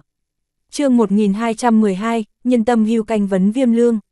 1. Đến đây, một trận chiến này triệt để kết thúc, Lạc Ly thở ra một hơi dài, lao lên không trung, vung kiếm chém một cái. Oanh, chém vỡ thời không, chém ra một cái thông đạo, Lạc Ly rời khỏi tiểu thiên thế giới này, trở về thiên ma tông. Cái tiểu thiên thế giới này, ở lúc Lạc Ly rời khỏi chém một cái, như một cọng cỏ cuối cùng đè ngã lạc đà, nhất thời sụp đổ, bị thời không cuồng phong nuốt mất, hóa thành hư vô. Trở về Thiên Ma Tông, Lạc Ly nhíu mày, hắn có một cái cảm giác, Thiên Ma Tông này nguy hiểm rồi, đạo đức tiên nhân kia chưa chết, nói không chừng sẽ có thủ đoạn nào đó xuất hiện. Xem ra cần nói rõ với Tô Thải Trân, mình tạm thời rời khỏi chỗ này. Đột nhiên, Lạc Ly phát hiện, ở Thiên Ma Tông này có chút hỗn loạn, Lạc Ly nhịn không được bắt lấy một tu sĩ bỏ chạy hỏi. Thiên Ma Tông làm sao rồi? Tu sĩ kia giận dữ, lập tức vùng vẫy. Lạc Ly khẽ phóng uy áp, tu sĩ kia ở dưới uy áp này nhất thời trung thực, ngoan ngoãn nghe lời, nói. Tiền bối, ngài muốn làm gì, cứ việc nói, ta tuyệt đối nghe lời. Lạc Ly hỏi, thiên ma tông này làm sao rồi? Tu sĩ kia nói, có chuyện lớn rồi. Vũ thị Tô Thải chân đột nhiên bộc phát, diệt sát cầm thị Diệp khinh nghi, hàng phục ca thị mộng băng lan, hương thị Vũ Phượng Điệp, hỏa thị Thanh Dương không. Sau đó bắt đầu thiên ma khiêu chiến, nàng hướng hai người ma hậu tiêu ức tình, ma hậu huyền tuyết tĩnh đồng thời phát ra khiêu chiến. Nghe lời này, Lạc Ly sửng sốt, không khỏi lắc lắc đầu. Tô Thải chân nói với hắn muốn rời khỏi chỗ này, không tham luyến quyền thế, cuối cùng tất cả đều là một lời nhảm nhí. Cuối cùng, nàng vẫn bắt đầu tranh quyền đoạt thế, tranh đoạt vị trí ma hậu. Diệt sát cầm thì Diệp khinh nghi, một hơi khiêu chiến hai ma hậu, xem ra nàng đã cho rằng bản thân thực lực vô địch, có chút điên cuồng, khó trách nàng trước kia đấu với đối phương, nhiều lần thất bại. Tu sĩ bị tóm chặt kia kích động không thôi, nói. Trận đại chiến này quá phấn khích rồi. Tô Thải chân kia thoáng cái biến thành lão lợi hại, phản hư hậu kỳ, thiên hạ vô địch, liên tục đánh bại Cao Phi Dương, Giang giả Vũ, Vạn Lý Phong, Phệ Kiếm, Lục Đạo Oan, Nghiệp Hỏa, Ngạo Tuyết Sát, Sinh Diệt, Trảm Hồng Trần, Phương Trần Y bọn 13 cao thủ. Từ cửu tôn từng bước lên cao, cuối cùng diệt sát cầm thị Diệp khinh nghi, vậy mà vẫn không cam lòng, tiếp tục ra tay. Ai cũng cho rằng nàng sẽ trở thành ma hậu, ai biết huyền tuyết tính kia, còn có tiêu ức tình kia đều ẩn giấu thực lực. Bọn nàng thế mà đều đã đạt tới phản hư hậu kỳ, hai lần đại chiến cuối cùng Tô Thải chân đều chiến bại, thủ hạ toàn diệt, pháp bảo vỡ hết. Nghe tới đây, Lạc Ly sửng sốt, hỏi, đánh xong rồi, Tô Thải chân lại thua nữa. Tu sĩ kia nói, phải, một lần này thua cũng thảm, ngay cả vị trí cửu tôn cũng không còn, chẳng qua nàng chưa chết, không biết đi đâu, có lẽ không lâu sau đây sẽ còn trở lại. Lạc Ly nhất thời không còn lời nào để nói, không ngờ được Tô Thải chân cuối cùng vẫn thất bại. Hắn buông tay thả tu sĩ kia, hắn biết Tô Thải chân hẳn ở nơi nào vụng trộm liếm láp vết thương. Trong nháy mắt, Lạc Ly đi tới cái hang lớn trong lòng đất. Chỗ này là mỗi một lần Lạc Ly và Tô Thải chân gặp mặt đều tới đây, một mảng trống vắng. Nhưng Lạc Ly cũng không lo lắng, mà là ở đây yên lặng chờ đợi, rất lâu sau, chỗ bóng tối, một bóng người xuất hiện, chính là Tô Thải chân. Nàng trốn vào chỗ này, dù là Lạc Ly cũng không phát hiện. Thẳng đến Lạc Ly xuất hiện, nàng mới hiện thân, một thân tiều tụy, thậm chí còn có vết máu, nguyên khí héo rũ, xem ra một trận này, nàng bị thương rất nặng. Tô Thải chân nhìn Lạc Ly, hai mắt đều là nước mắt, nhưng lên tiếng lại là nói. Ta không hiểu, ta không biết, vì sao, vì sao. Trong lời nói, mang theo vô tận không cam lòng, Lạc Ly không nói chuyện, chỉ nhìn nàng. Tô Thải chân tiếp tục nói, ta không rõ, vì sao ta sẽ thua. Ta thật không rõ, một đoạn thời gian này, ma chủ ban phúc, vô tận ma khí rót vào, ta tu vi đột nhiên tăng mạnh, luyện thành vô số ma công.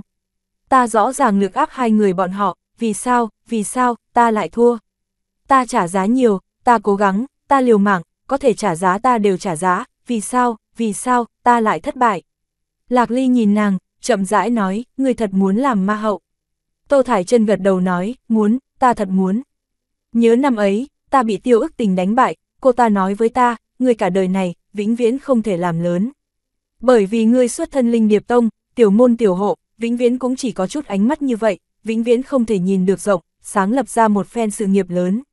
Ta không cam lòng, ta không muốn bị nàng không coi trọng, ta chính là xuất thân linh điệp tông thì sao, ta chính là muốn làm ma hậu. Lạc Ly nhìn nàng, chậm rãi nói, nếu ngươi thật muốn, vậy được, ta giúp ngươi. Mắt Tô Thải chân sáng lên, nói, ngươi giúp ta. Lạc Ly gật đầu, nói, đúng, ta giúp ngươi. Tô Thải chân nói tốt, nhưng, nhưng, ngươi giúp ta như thế nào? Lạc Ly nói, không có cái gì nhưng mà không nhưng mà, ngươi nếu muốn làm, vậy ta sẽ giúp ngươi. Chỉ cần ngươi nghe ta, ta liền giúp ngươi trở thành thiên ma tông ma hậu. Tô Thải chân cắn môi, không nói gì, mặc dù không nói, nhưng có thể thấy được, nàng vẫn là không thể nào tin được Lạc Ly.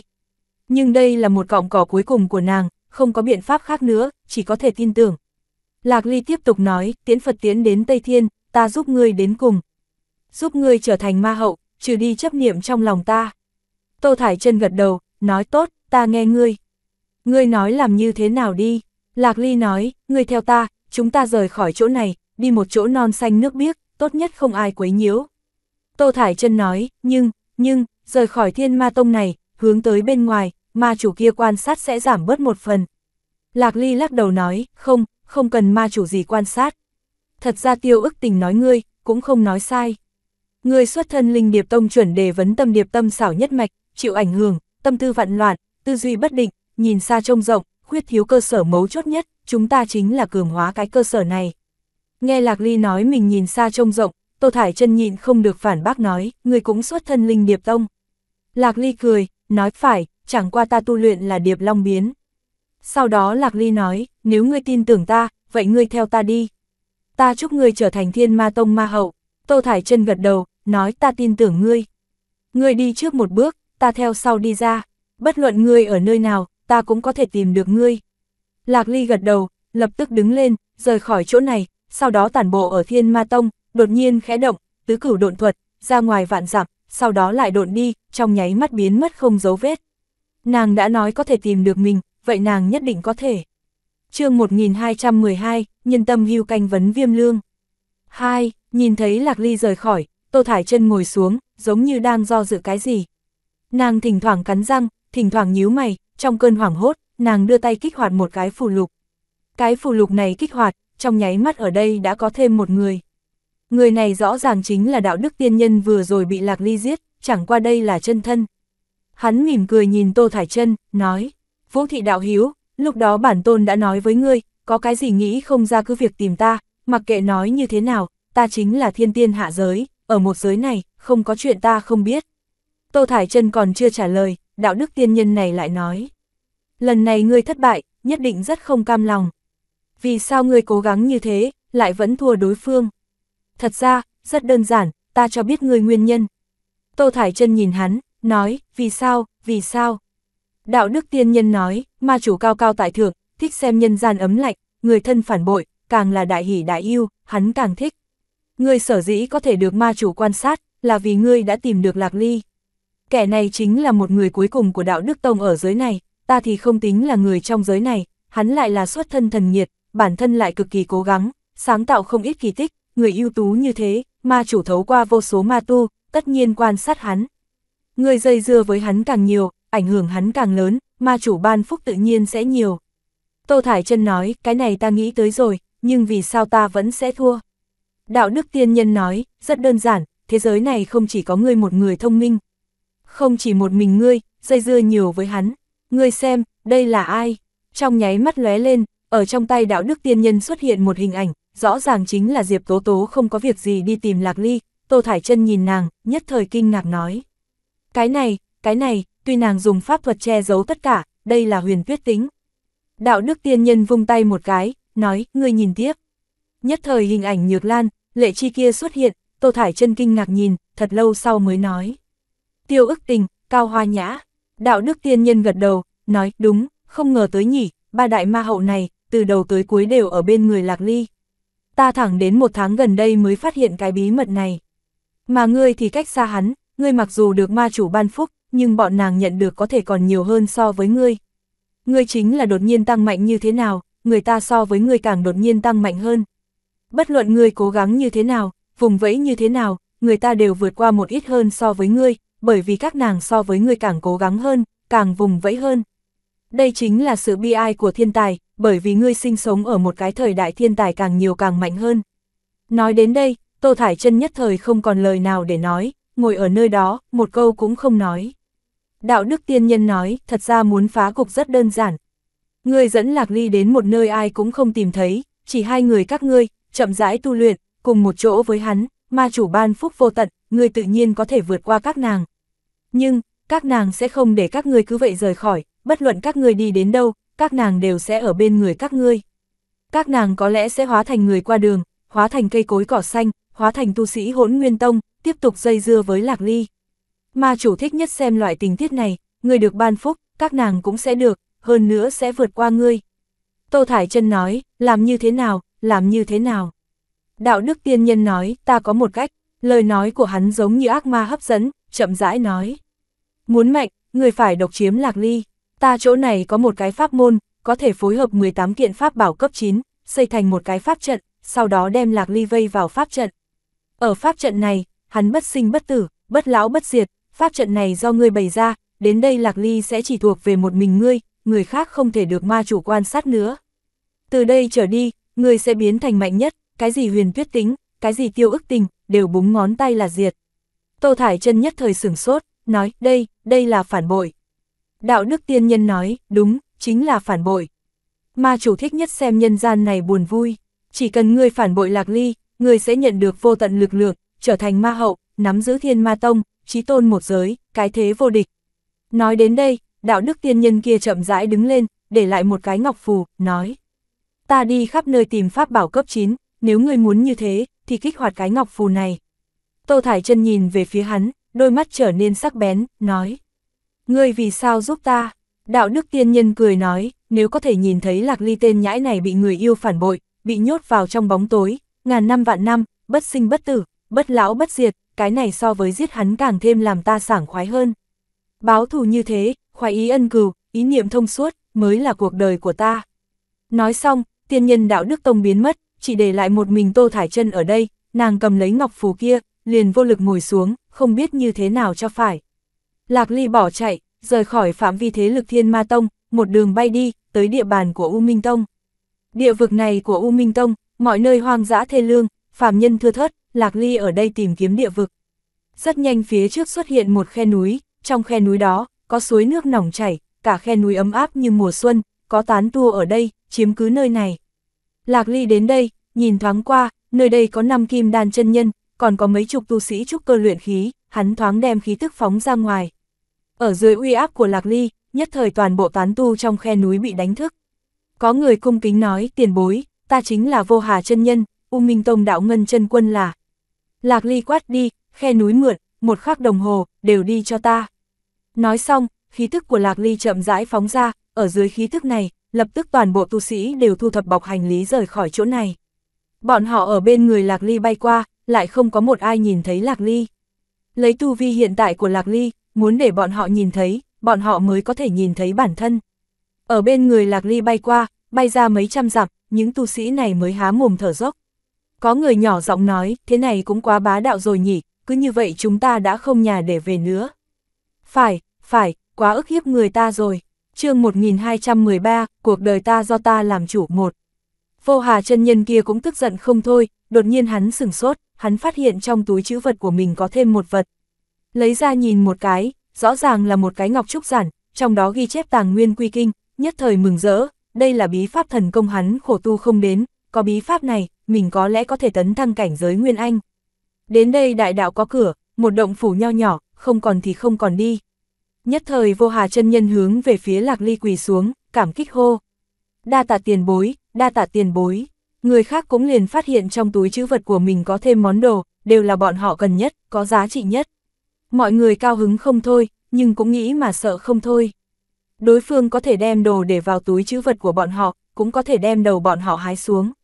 Mọi người cũng ùn ùn quỳ xuống, bái tạ ở đây.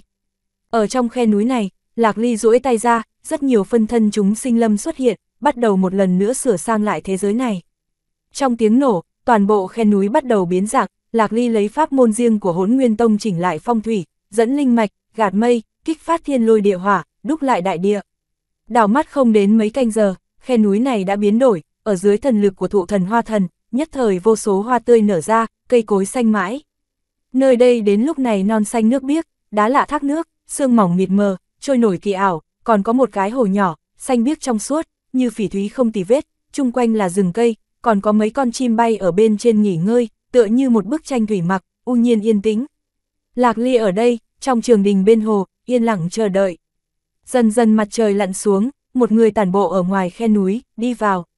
Chính là Tô Thải chân cho dù cách xa Lạc Ly vạn dặm, nàng vẫn có thể tìm được Lạc Ly. Lúc này, ánh chiều tà vẫn còn, tùng xanh, hồ nước, cầu nhỏ nước chảy, tắm trong ánh mặt trời, tận tự nhiên chi ý. Ở trong trường đình, Lạc Ly chậm rãi nấu một bình trà thơm, hương trà tản ra. Thấy một màn như vậy, Tô Thải chân chợt sửng sốt, nàng ngơ ngác nhìn Lạc Ly, giống như đang do dự cái gì. Lạc Ly đem trà thơm ngâm xong, nói, đến, nhấm nháp một chút tay nghề của ta. Tô Thải chân đi đến trong trường đình, ngồi ở một bên khác, chân dài thẳng tắp, vòng eo nhỏ nhắn, trong từng động tác đều mang theo sức quyến rũ thiên nhiên. Lạc Ly mỗi một động tác trầm ổn hữu lực, trong bình tĩnh, mang theo một uy áp vô hình, đôi tay long lanh trong suốt, ở trong tay kia, trà thơm mê người phát ra mùi thơm thoang thoảng không ngừng nghỉ. Hai người đối ẩm, nhìn nhau cười, ai cũng không nói gì, tình cảnh này không cần nhiều lời. Hồi lâu sau Lạc Ly mở miệng nói, ta giúp ngươi trở thành thiên ma tông ma hậu, đến đây, cái gọi là ma chủ chúc phúc, có thì có, không có thì không có, không cần để ý. Tô Thải chân thoáng sững sờ, nói, không có ma chủ chúc phúc, ta nào có thể đánh bại các nàng. Lạc Ly nói, đây chính là cái ta muốn giúp ngươi. Ngươi sai rồi, ngươi quá trầm mê trong cái gọi là ma chủ chúc phúc. Ma chủ chúc phúc, ngàn vạn pháp lực, nhưng pháp lực này, lại không phải của ngươi, chính là ngoại lực. Mượn dùng ngoại lực, bản thân không mạnh, như đứa bé vung chùy lớn, sơ hở trồng chất, há có thể bất bại. Tô Thải chân nhíu mày nói, nói bậy, thiên ma chư pháp, ta đều dốc lòng tu luyện, sao có thể không tinh. Lạc Ly nói, ta nói ngươi không tinh, chính là không tinh. Nếu không tin, chúng ta thử một lần. Nói xong, Lạc Ly duỗi tay ra, thiên ma âm dương nguyên đô sách phát ra. Pháp thuật này, ở trong tay Lạc Ly khẽ phát ra, chỉ bao phủ phạm vi khoảng một trượng, trong đó âm dương biến hóa bất định, càn khôn nghịch chuyển ngàn vạn, Lạc Ly đem ảo diệu của phép này phát huy không thể nghi ngờ. Tô Thải chân khẽ đưa tay, cũng phát ra pháp thuật như thế, nàng cũng tu luyện thiên ma âm dương nguyên đô sách. Nhưng thiên ma âm dương khí của hai người va chạm, âm dương khí của Tô Thải chân lập tức sụp đổ. Nàng lập tức tăng thêm âm dương khí, nhưng vẫn sụp đổ. Tô Thải chân kinh ngốc nhìn, hồi lâu mới nói thiên ma âm dương nguyên đô sách. Ngươi, ngươi, sao có thể lợi hại như thế? Lạc Ly lật tay một cái, bắt đầu thi triển thiên ma nguyên tử linh quang tuyệt diệt. Sau đó là thiên ma thái hư luân hồi chuyển, thiên ma phá thế âm sát. Tô Thải chân hoàn toàn kinh ngạc, nói không ra lời. Lạc Ly tu luyện những thiên ma ma công này, đều là đại thiên ma trực tiếp đổi cho Lạc Ly, đều là phương pháp tu luyện chính xác nhất, nguyên thủy nhất, cường đại nhất của thiên ma tông. Mà phương pháp tu luyện Tô Thải chân nhận được, đều là thiên ma tông truyền lưu, rất nhiều cường giả lúc truyền lại đời sau, đều sẽ giấu một bài, mặt khác có ma chủ chúc phúc lực lượng vô tận, đều là tốc thành, nàng căn bản chưa lĩnh ngộ chân ý tam muội trong đó. Lạc Ly nói, cái này là ta muốn dạy ngươi, đánh cơ sở của ngươi, một lần nữa truyền thụ ngươi thiên ma công chân chính, tán đi phù hoa, chỉ chưa tinh túy, rèn luyện trăm ngàn, cuối cùng thành đại đạo. Trong thượng môn, vốn có thuyết vượt cấp khiêu chiến, nguyên anh chiến hóa thần, hóa thần đấu phản hư, đối với chúng ta khoe khoang khoác lác lực lượng thật ra cũng không phải quan trọng như vậy, mấu chốt là lực lượng ngươi có thể nắm giữ, mới là lực lượng chân chính. Ta truyền cho ngươi cơ sở, lấy cái cơ sở này, ngươi đi chiến huyền tuyết tính kia, còn có tiêu ức tình kia, tất có thể chiến thắng các nàng. Tô Thải chân trần chờ hỏi, vậy ta đánh vững cơ sở như thế nào? Lạc Ly mỉm cười nói, khổ tu, chịu khổ, đau khổ kiên trì, vô số lần tu luyện lĩnh ngộ, vô số lần tìm hiểu đả tọa, vô số lần đau khổ dày vò. Tu luyện đến không thể nhịn được nữa, vẫn phải tiếp tục nhịn, giống như tạo ra thép tốt luyện vạn lần, mỗi chùy hạ xuống, tạp chất đánh ra, tinh túy ở lại, rèn luyện trăm ngàn, cuối cùng rốt cuộc mưa qua cầu vòng tới, phù hoa tán đi, thành chính quả.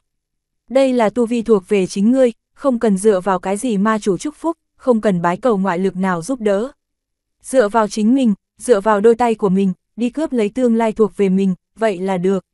Tô Thải chân lẳng lặng nghe, trong mắt dần dần phóng ra ánh sáng, nói, làm như thế nào?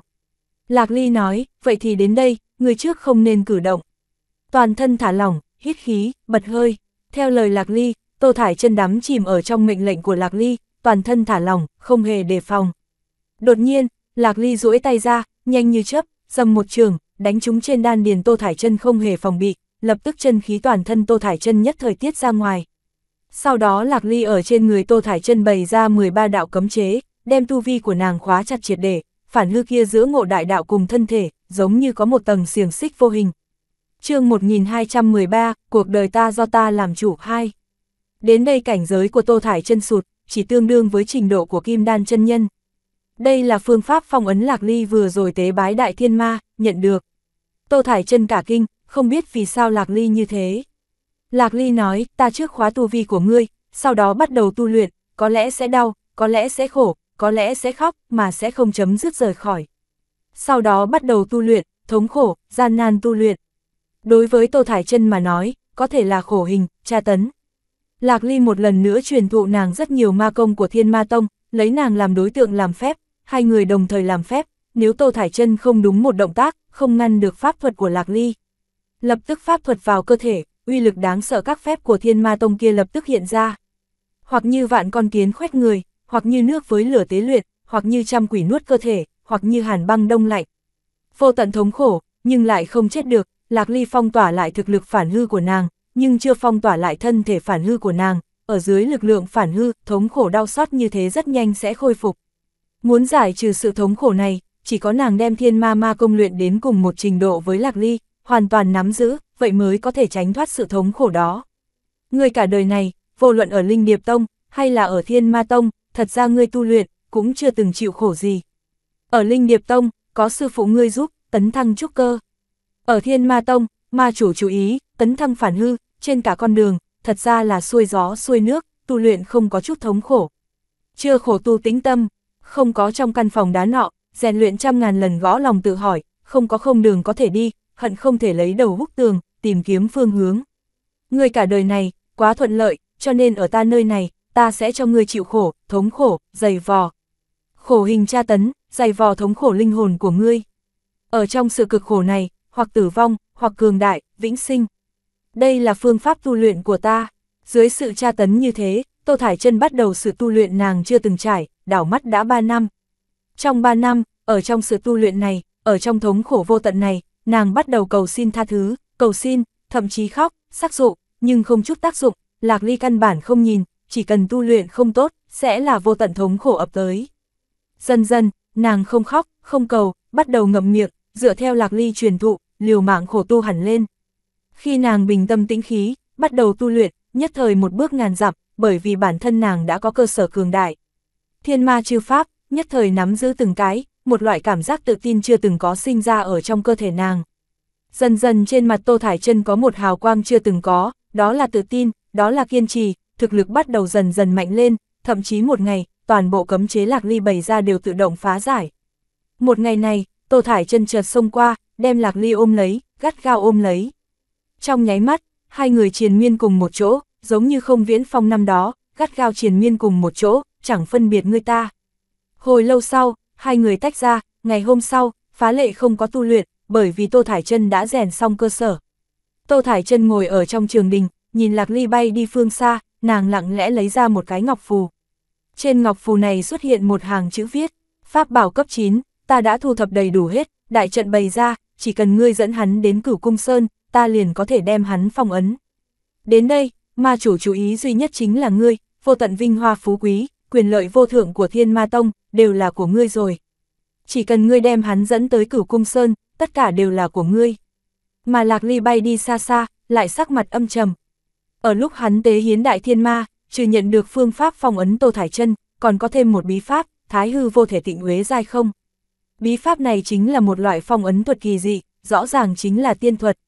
Lấy 9, 18, 36, 72, 108, 1001 pháp bảo cấp 9 làm nền tảng, có thể đem tồn tại cường đại phong ấn lại. Cho dù tiên nhân, cũng khó thoát khỏi, sau khi phong ấn, suốt đời không thể thoát ly. Lạc ly xem đến đây liền sửng sốt, đại thiên ma sẽ không vô duyên vô cớ cho bản thân hắn một thứ này. Nhất định có vấn đề, có chuyện. Lạc ly ba năm qua, thỉnh thoảng lui tới thánh điện ám ma tông, tìm hiểu tin tức, nhất thời phát hiện, ba năm nay bảy vị phản hư bị giết, sáu đại thượng môn bị trộm, toàn bộ thiết kế pháp bảo cấp 9, hơn nữa có người có thể xác định, chính là tiên nhân hạ giới kia gây nên. Nhìn thấy những tin tức này, trong lòng Lạc Ly liền có điều đề phòng, ở thời điểm Tô Thải chân bị tu luyện thống khổ không chịu nổi, Lạc Ly đã tìm được cái ngọc phù kia. Trong ngọc phù này ẩn chứa khí thức tiên nhân, Lạc Ly có được máu thịt xương cốt của hắn, liếc một cái có thể nhìn ra, văn tự Tô Thải chân mới vừa rồi nhìn thấy, Lạc Ly cũng nhìn thấy, hắn đang chờ đợi, chờ đợi Tô Thải chân lựa chọn. Ngươi nếu không rời, ta liền không bỏ, ngươi nếu chia lìa, chúng ta liền dễ tụ dễ tan. Nếu ngươi muốn dùng ta chảm tình tu luyện, ta liền dùng ngươi chảm tình luyện đạo. Tô Thải chân nhìn ngọc phù kia, sau đó nhìn Lạc Ly phương xa. Một kẻ đau khổ tu luyện, dựa vào bản thân, không ngừng vươn lên. Một kẻ có thể mượn vạn thế chi chủ, không làm mà hưởng, hưởng thụ vạn năm. Nàng nhẹ giọng nói, lựa chọn, rất nhiều.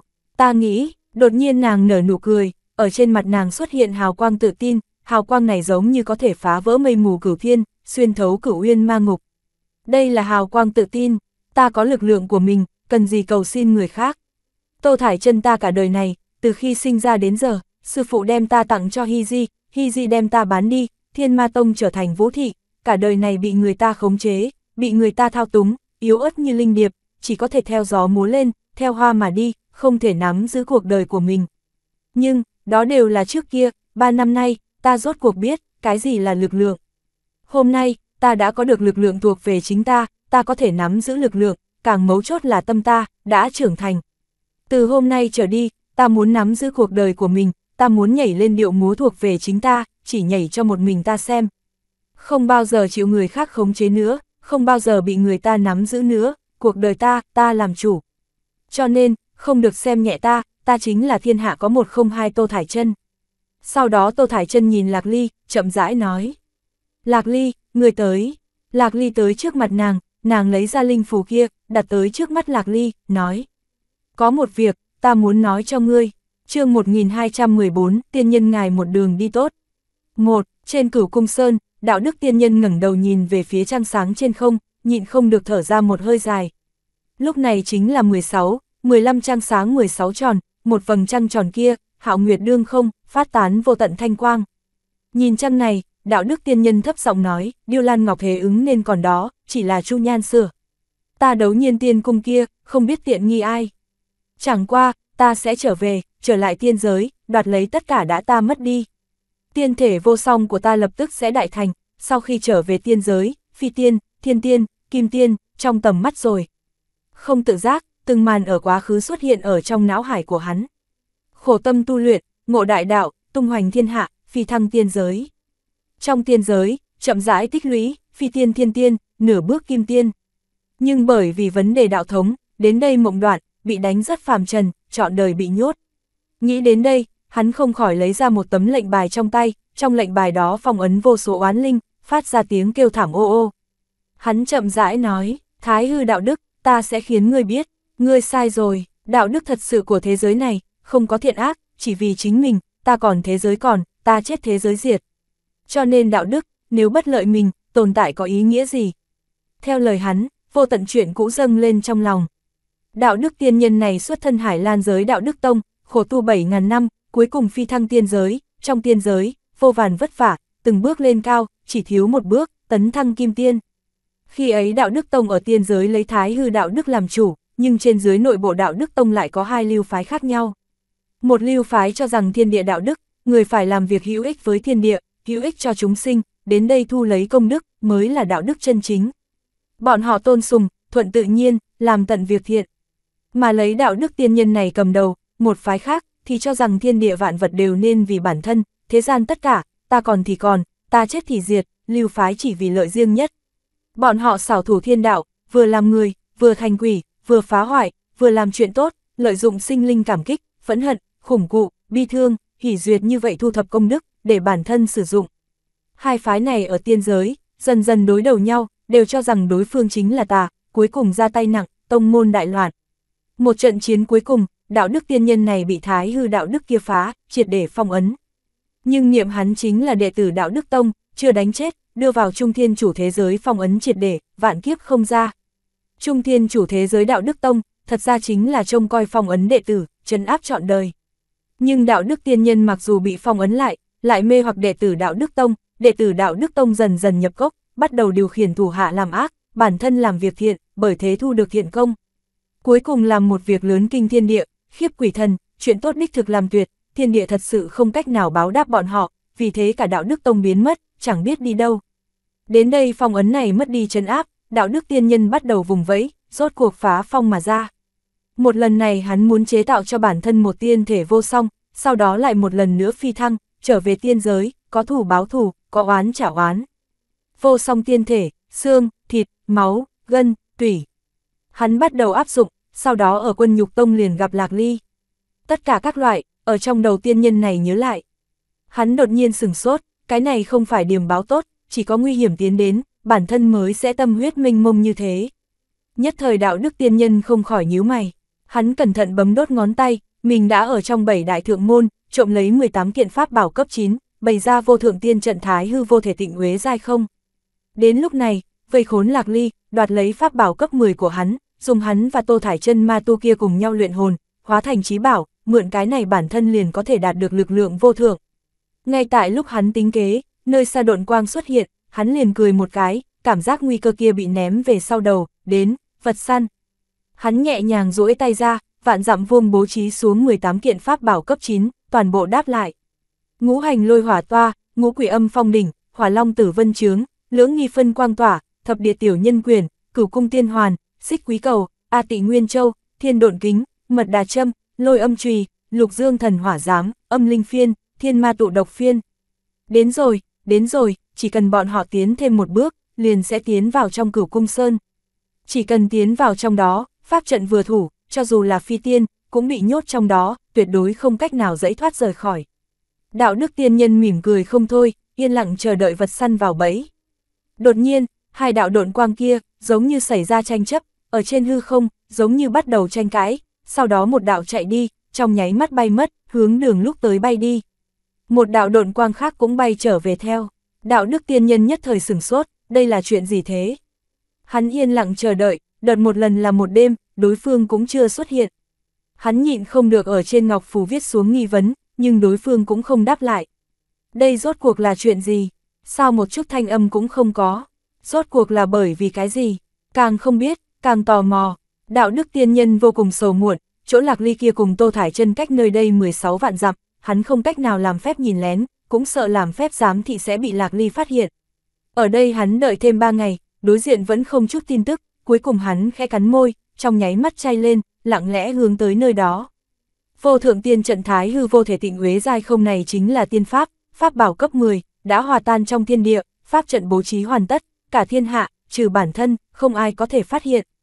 Trung thiên chủ thế giới nho nhỏ này bé như mắt mũi, trong mắt hắn, đều là con kiến, cho nên hắn căn bản không để trong lòng.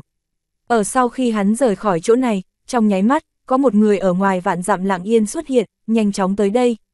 Trung thiên chủ thế giới không ai hiểu được tiên trận này, nhưng vạn ma chi chủ phân thân đại thiên ma thì hiểu. Đại thiên ma cao cao tại thượng, há có thể nhìn tiên nhân đùa bỡn ma thị của mình. Cho nên nó mới sẽ nhắc nhở Lạc Ly, truyền thụ tiên trận. Lạc Ly sau khi tới đây, dựa theo phương pháp đại thiên ma truyền thụ, nhanh chóng thay đổi tiên trận, không đến trăm hơi thở, tiên trận nghịch chuyển.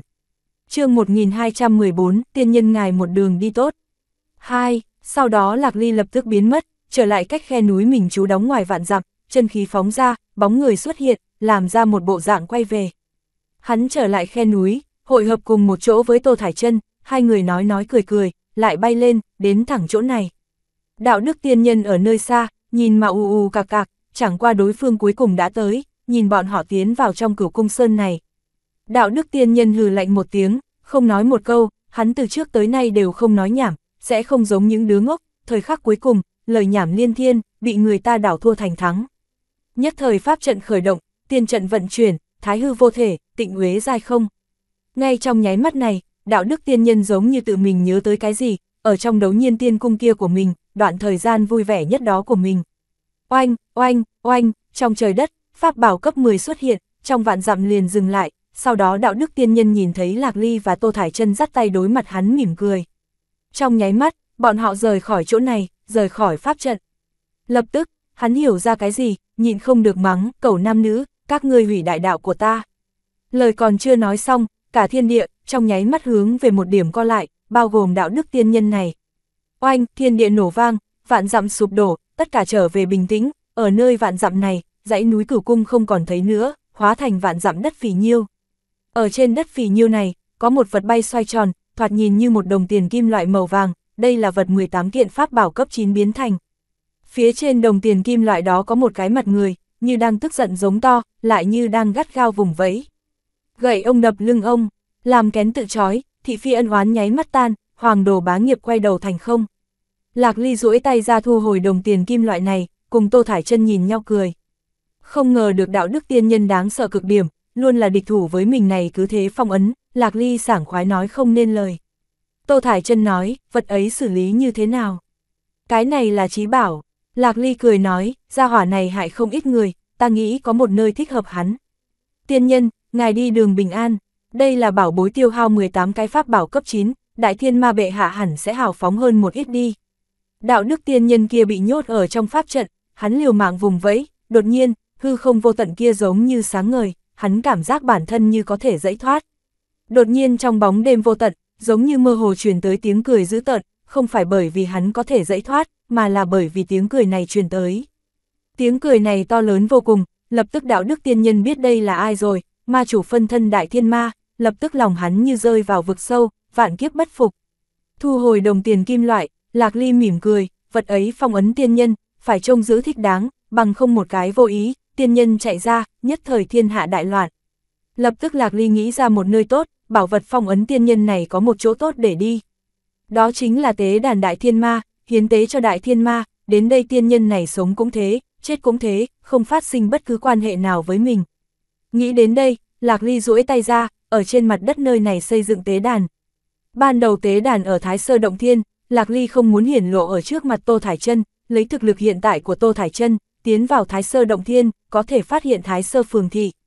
Tế đàn nhanh chóng xây thành, sau đó Lạc Ly bắt đầu hiến tế, bảo vật kia đặt lên, đối diện tế đàn quả thực giống như sống lại, Đại Thiên Ma vô cùng hưng phấn, tế phẩm như thế, làm hắn cao hứng vạn phần. Hiến tế bắt đầu, bảo vật biến mất, nhất thời tế đàn bên kia gió nổi mây phun, giống như có cái gì truyền tống tới đây. Khí tức kia to lớn, khí quán núi sông, làm người ta kinh ngốc. Nhất thời trong lòng Lạc Ly có một ý nghĩ, vật báu cấp 10. Tuyệt đối là vật báu cấp 10, đại thiên ma này, quá hào phóng rồi. Oanh, một tiếng vang lớn, ở trên tế đàn kia nhất thời xuất hiện các kiện bảo vật, phát ra vạn tia sáng, lấp lánh lóa mắt, rõ ràng là một kiện pháp bảo cấp 10. Nhưng Lạc Ly đã nhìn thấy, lại sừng sốt, là pháp bảo cấp 10, nhưng lại là một cái váy múa.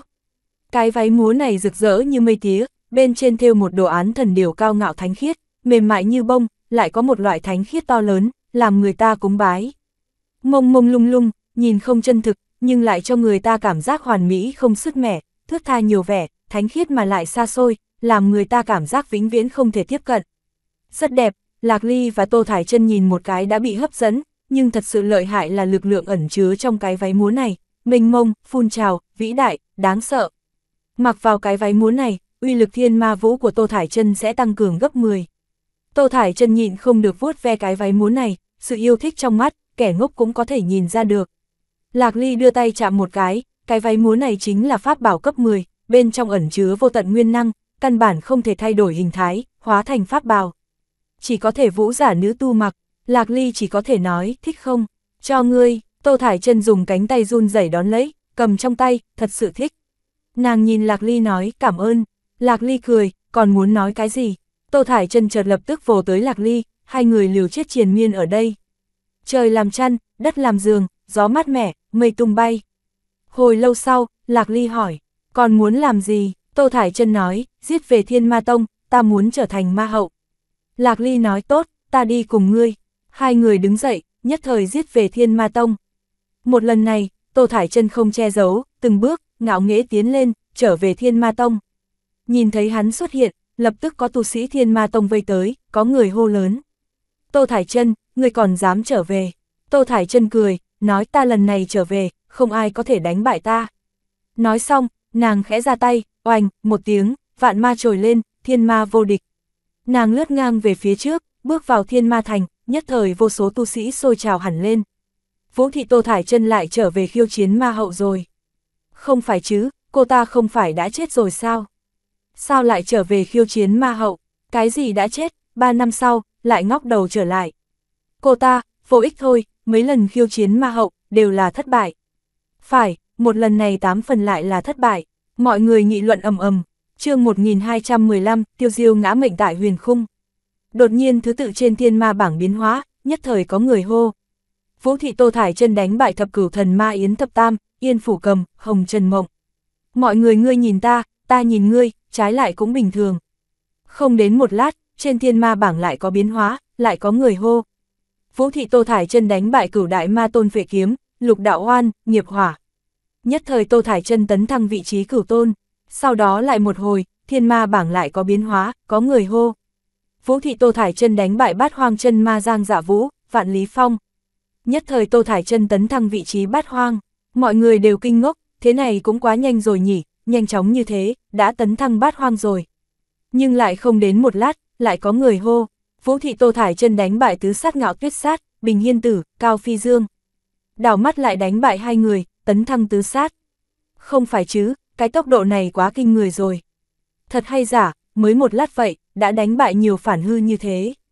Gặp quỷ rồi, gặp quỷ rồi, quá mạnh rồi. Lập tức vô số người nghị luận hẳn lên. Qua nửa canh giờ nữa, có người hô. Vũ thị Tô Thải chân đánh bại thiên địa tam tuyệt cao hoa nhã, sinh diệt, trảm hồng trần. Đến đây tấn thăng thiên địa tam tuyệt, một lần này, nhất thời bốn phương không nói gì. Sau đó mọi người chỉ yên lặng chờ đợi, mọi người đều biết, Tô Thải chân kế tiếp chính là khiêu chiến hai đại ma hậu. Yên lặng chờ đợi, đột nhiên thiên ma thành bắt đầu nhoáng lên. Đây là cường giả đại chiến, ảnh hưởng thiên địa, mọi người đều kinh ngạc vô cùng, yên lặng chờ đợi.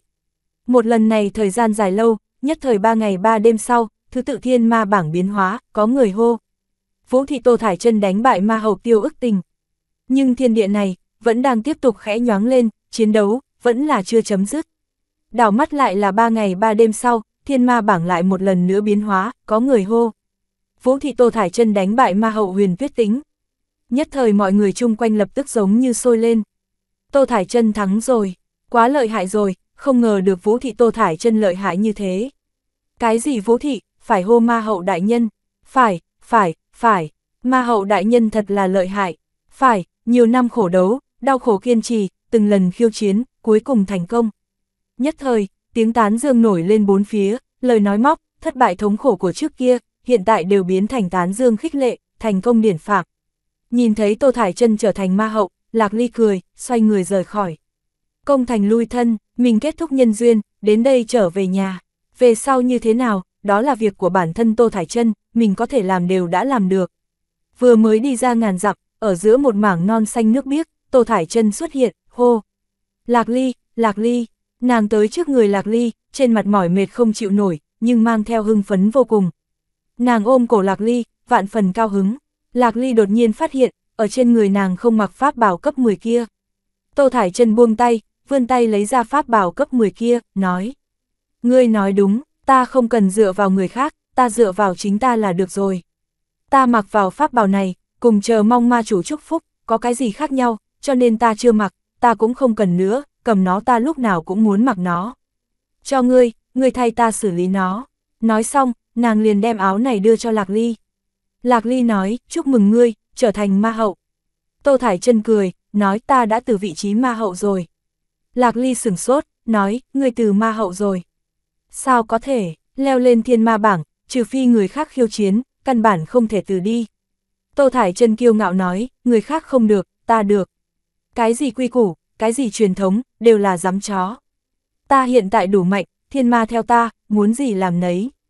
Ta phá quy củ dám thối kia của thiên ma bảng, ta trở thành ma hậu, ta mới phát hiện, vị trí này, ta không thích, ta chỉ là muốn chứng minh bản thân, ma hậu gì kia, ta đã không để ý nữa, cho bọn hắn chơi đi. Ta chính là ta, từ nay về sau, ta không chịu bất luận kẻ nào khống chế, bất cứ chuyện gì hạn chế. Lời này nói ra, Tô Thải chân thần thái bay lên, sắc mặt có một loại thần quang, làm người ta không dám nhìn thẳng. Lạc Ly nhất thời không nói nên lời. Tô Thải chân nhìn Lạc Ly, chợt dậm chân một cái, trong hư không giống như truyền đến một tiếng răng rắc. Nhất thời khóe miệng Tô Thải chân trào máu, toàn thân run lên. Lạc Ly sừng sốt, hỏi, làm sao vậy? Tô Thải chân thở ra một hơi dài, giống như dùng ra ma công gì, nhất thời thân thể khôi phục. Nàng cười nói, ta chặt đứt ma duyên của ngươi ta. Vốn ngươi là ma duyên của ta, ta muốn làm ngươi yêu ta, thích ta, vì ta bỏ qua tất cả, sau đó ta vứt bỏ ngươi, thương tổn ngươi, dùng ngươi bi thương, thành toàn ma đạo của ta. Nhưng không cần nữa, ta là Tô Thải chân Tô Thải chân có một không hai, không ai có thể khống chế hạn chế Tô Thải chân cái gì ma duyên dám chó, ta chặt đứt rồi. Lúc này, Tô Thải chân không kiêng kỵ gì, thích gì thì làm, thiên đạo tự nhiên. Lạc Ly nhìn nàng, không biết vì sao trong lòng dâng lên một tia hâm mộ. Tô Thải chân nói, tốt rồi, từ nay về sau ngươi ta không có quan hệ nữa. Ta cũng không tìm tới ngươi nữa, ngươi là ngươi, ta là ta. Lạc Ly hỏi, ngươi đi cùng ta không? Tô Thải chân lắc đầu nói, không, trên người ngươi còn có trọng trách của hỗn nguyên tông này, ta sẽ không cùng một chỗ với ngươi, ta cũng không muốn qua loại cuộc sống tu sĩ này nữa. Lạc Ly hỏi, vậy ngươi muốn làm gì? Tô Thải chân nhìn về phương xa, nói, ta đạt được tự do, ta sẽ làm một phàm nhân. Tổ chức một đoàn xe, nhận nuôi một ít phụ nữ, hành tẩu trên mặt đất mênh mông, nơi nào có lễ mừng, thì đi qua diễm vũ một phen. Hảo hảo nhảy cho tốt điệu múa của mình, muốn nhảy thì nhảy, ở trong điệu múa đó, tìm kiếm sự khoái hoạt của bản thân ta.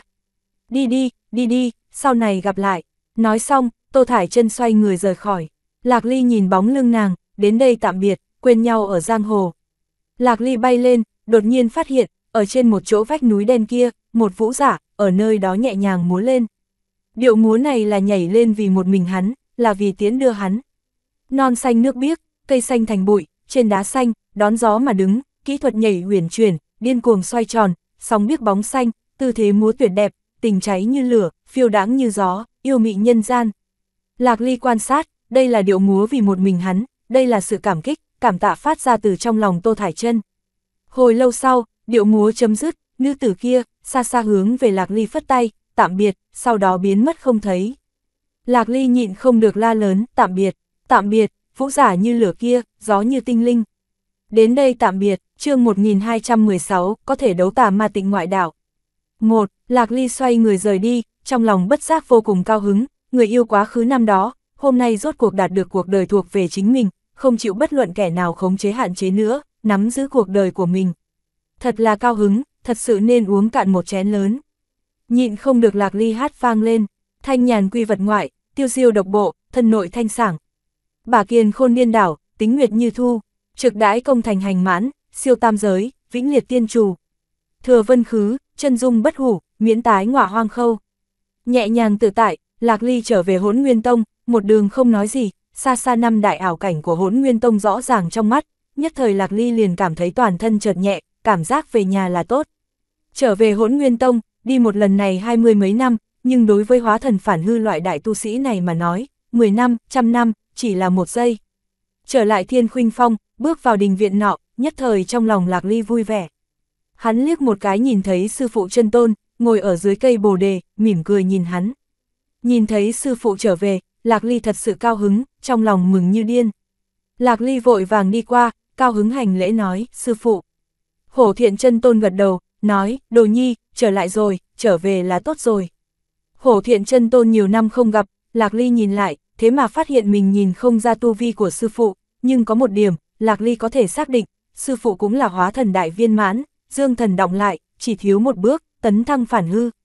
Hai người ở đây nói chuyện với nhau, theo tin tức Lạc Ly trở về truyền ra, mọi người của Thiên Khuynh Phong lục tục hiện thân. Đám người tam cuồng, ngũ nhân lần lượt xuất hiện, hoan nghênh Lạc Ly trở về. Lạc Ly nhìn thoáng qua, hai đồ đệ của mình không thấy tung tích, hỏi thăm một chút, các nàng đã hướng tới ngoại vực, đi làm một nhiệm vụ tông môn. Mặt khác thất trúc thiên đô sư huynh cũng không có mặt, nhưng nhị sư huynh Lệ Phong, tam sư huynh Thanh Ngân, không biết khi nào đã trở về, gặp nhau vui vẻ với Lạc Ly. Ở đây bày yến hội, chúc mừng một phen, giữa tiệc, Lạc Ly nói. Sư phụ, ta đã tìm được thiên khuynh phong hóa thần thiên khuynh chi đạo. Mắt hổ thiện chân tôn sáng lên, nói ta cũng tìm được rồi. Thiên khuynh phong hóa thần thiên khuynh chi đạo, thầy cho hai người đều sửng sốt, Lạc Ly bắt đầu nói thiên khuynh chi đạo của ta là lấy chúng vì chủ, lấy nguyên thần cùng hạch tâm của bản thân, tìm kiếm nguyên thần hai phản hư, một chủ hai phụ, hình thành tam dương khai thái chi thế. Hổ thiện chân tôn nhíu mày lắng nghe, hồi lâu sau mới nói, Lạc Ly, người đây là đạo cướp đoạt của ma tông, phá hủy đạo cơ của một người, thành đạo quả một người.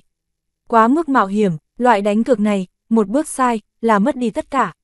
Thành toàn người khác, Lạc Ly gật đầu, nói, vâng, sư phụ, phép này là con ở thiên ma tông tu luyện 18 năm, lĩnh ngộ mà có. Nhìn như mạo hiểm, thật ra cũng chưa chắc, nhưng lấy tu vi thiên khuynh phong của ta, trải qua trúc cơ kỳ, kim đan kỳ, nguyên anh kỳ tích lũy, hóa thần đại viên mãn, tuyệt đối có thể đánh bại phản hư chân nhất bình thường, cướp lấy nguyên thần của bọn họ. Con đường tu tiên, vốn gian nan gập ghềnh, từng bước khó đi, nếu đối phương không có lòng tham, sẽ không đánh cược với ta, pháp môn này của ta sẽ mất đi hiệu lực. Nếu tham, cược thất bại, vậy không nên oán trời hận đất, đồng ý thì phải chịu thua. Ai không có mấy kẻ địch, vốn cũng là tử đấu ngươi chết ta sống, chỉ là hiện tại ở trước khi tử đấu, cộng thêm một cái tiền đặt cược mà thôi. Hổ thiện chân tôn nói, chẳng qua, phép này của ngươi, tam dương khai thái, ba nguyên thần, sau khi tấn thăng phản hư, rất dễ dẫn phát hiện tượng quan hệ nô lệ lớn ức hiếp chủ chủ yếu và thứ yếu. Lạc Ly khẽ gật đầu, nói cái này thì đúng. Sư phụ ngươi con đường thiên khuynh là gì? Hổ thiện chân tôn nói, thiên khuynh phong hóa thần thiên khuynh chi đạo của ta, lại khác với ngươi.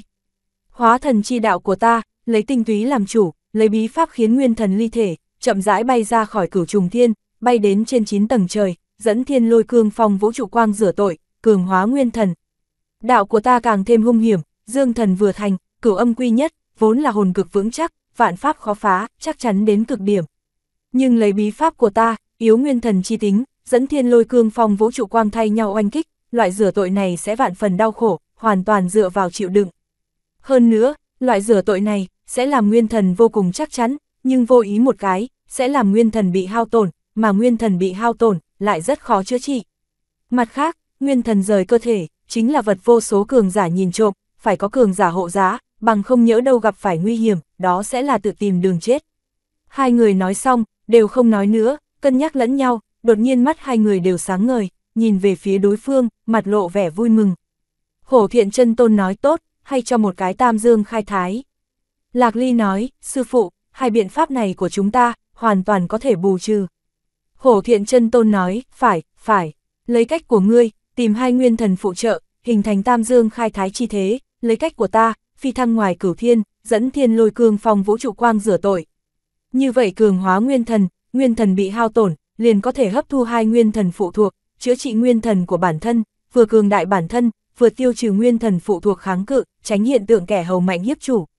Lạc Ly nói cuối cùng, thậm chí có thể đem toàn bộ nguyên thần phụ trợ luyện hóa hết, chỉ có một nguyên thần chân chính của mình.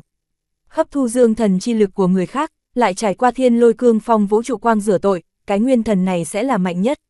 Hổ thiện chân tôn gật đầu nói phải, mạnh nhất, chỉ cần vượt qua thiên kiếp, tấn thăng phản hư, nắm giữ thiên đạo chi lực, đến đây vô địch ngang cấp. Tất cả trả giá, tất cả cố gắng, mấy ngàn năm làm việc cực nhọc, một khắc cuối cùng, nhận được thu hoạch hoàn mỹ.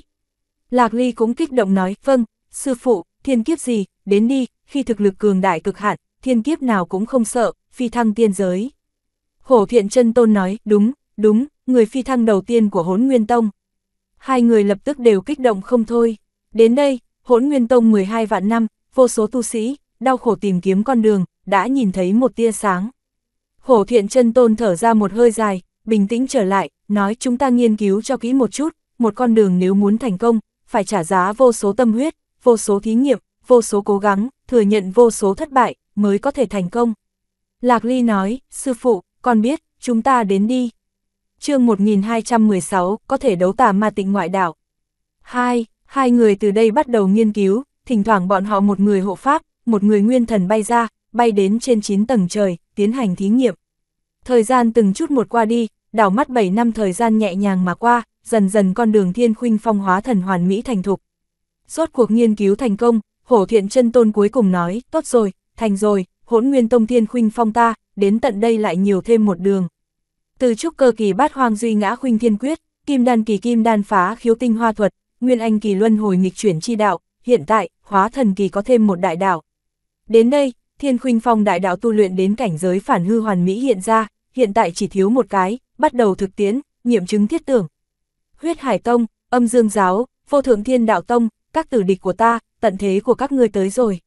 Hổ thiện chân tôn lập tức xuất phát, đi tìm những tử địch phản hư này, tính đánh chết bọn họ, cướp lấy nguyên thần của bọn họ. Lạc Ly lại chưa sốt ruột, nhiều năm như vậy qua đi, cổ mộc lĩnh nọ luyện chế đan dược cho mình, hẳn là đã thành công, mình đi qua thu, đem chúng sinh lâm của mình hoàn toàn đại thành.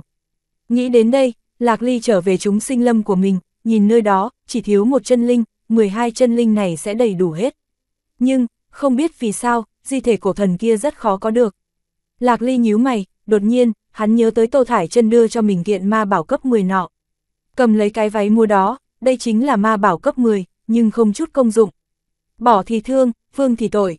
Cái váy múa này chỉ có vũ giả nữ tu mới có thể mặc, hơn nữa không giống pháp bào khác, có thể thay đổi bộ dáng, cũng không có bất cứ thần thông diệu dụng nào, thậm chí ngay cả chân linh của pháp bảo cấp 10 cũng chưa từng xuất hiện, yên tĩnh không tiếng động. Nó ở trong tay Lạc Ly, chính là một cái váy múa bình thường, nhưng đây là pháp bảo cấp 10, bên trong ẩn chứa thiên ma khí cực kỳ khủng bố. Thiên ma khí này dâng trào minh mông, mạnh đến cực điểm. Lạc Ly nghĩ một chút, đột nhiên sinh ra một ý nghĩ, người đã không chút công dụng, vậy thì không nên oán ta.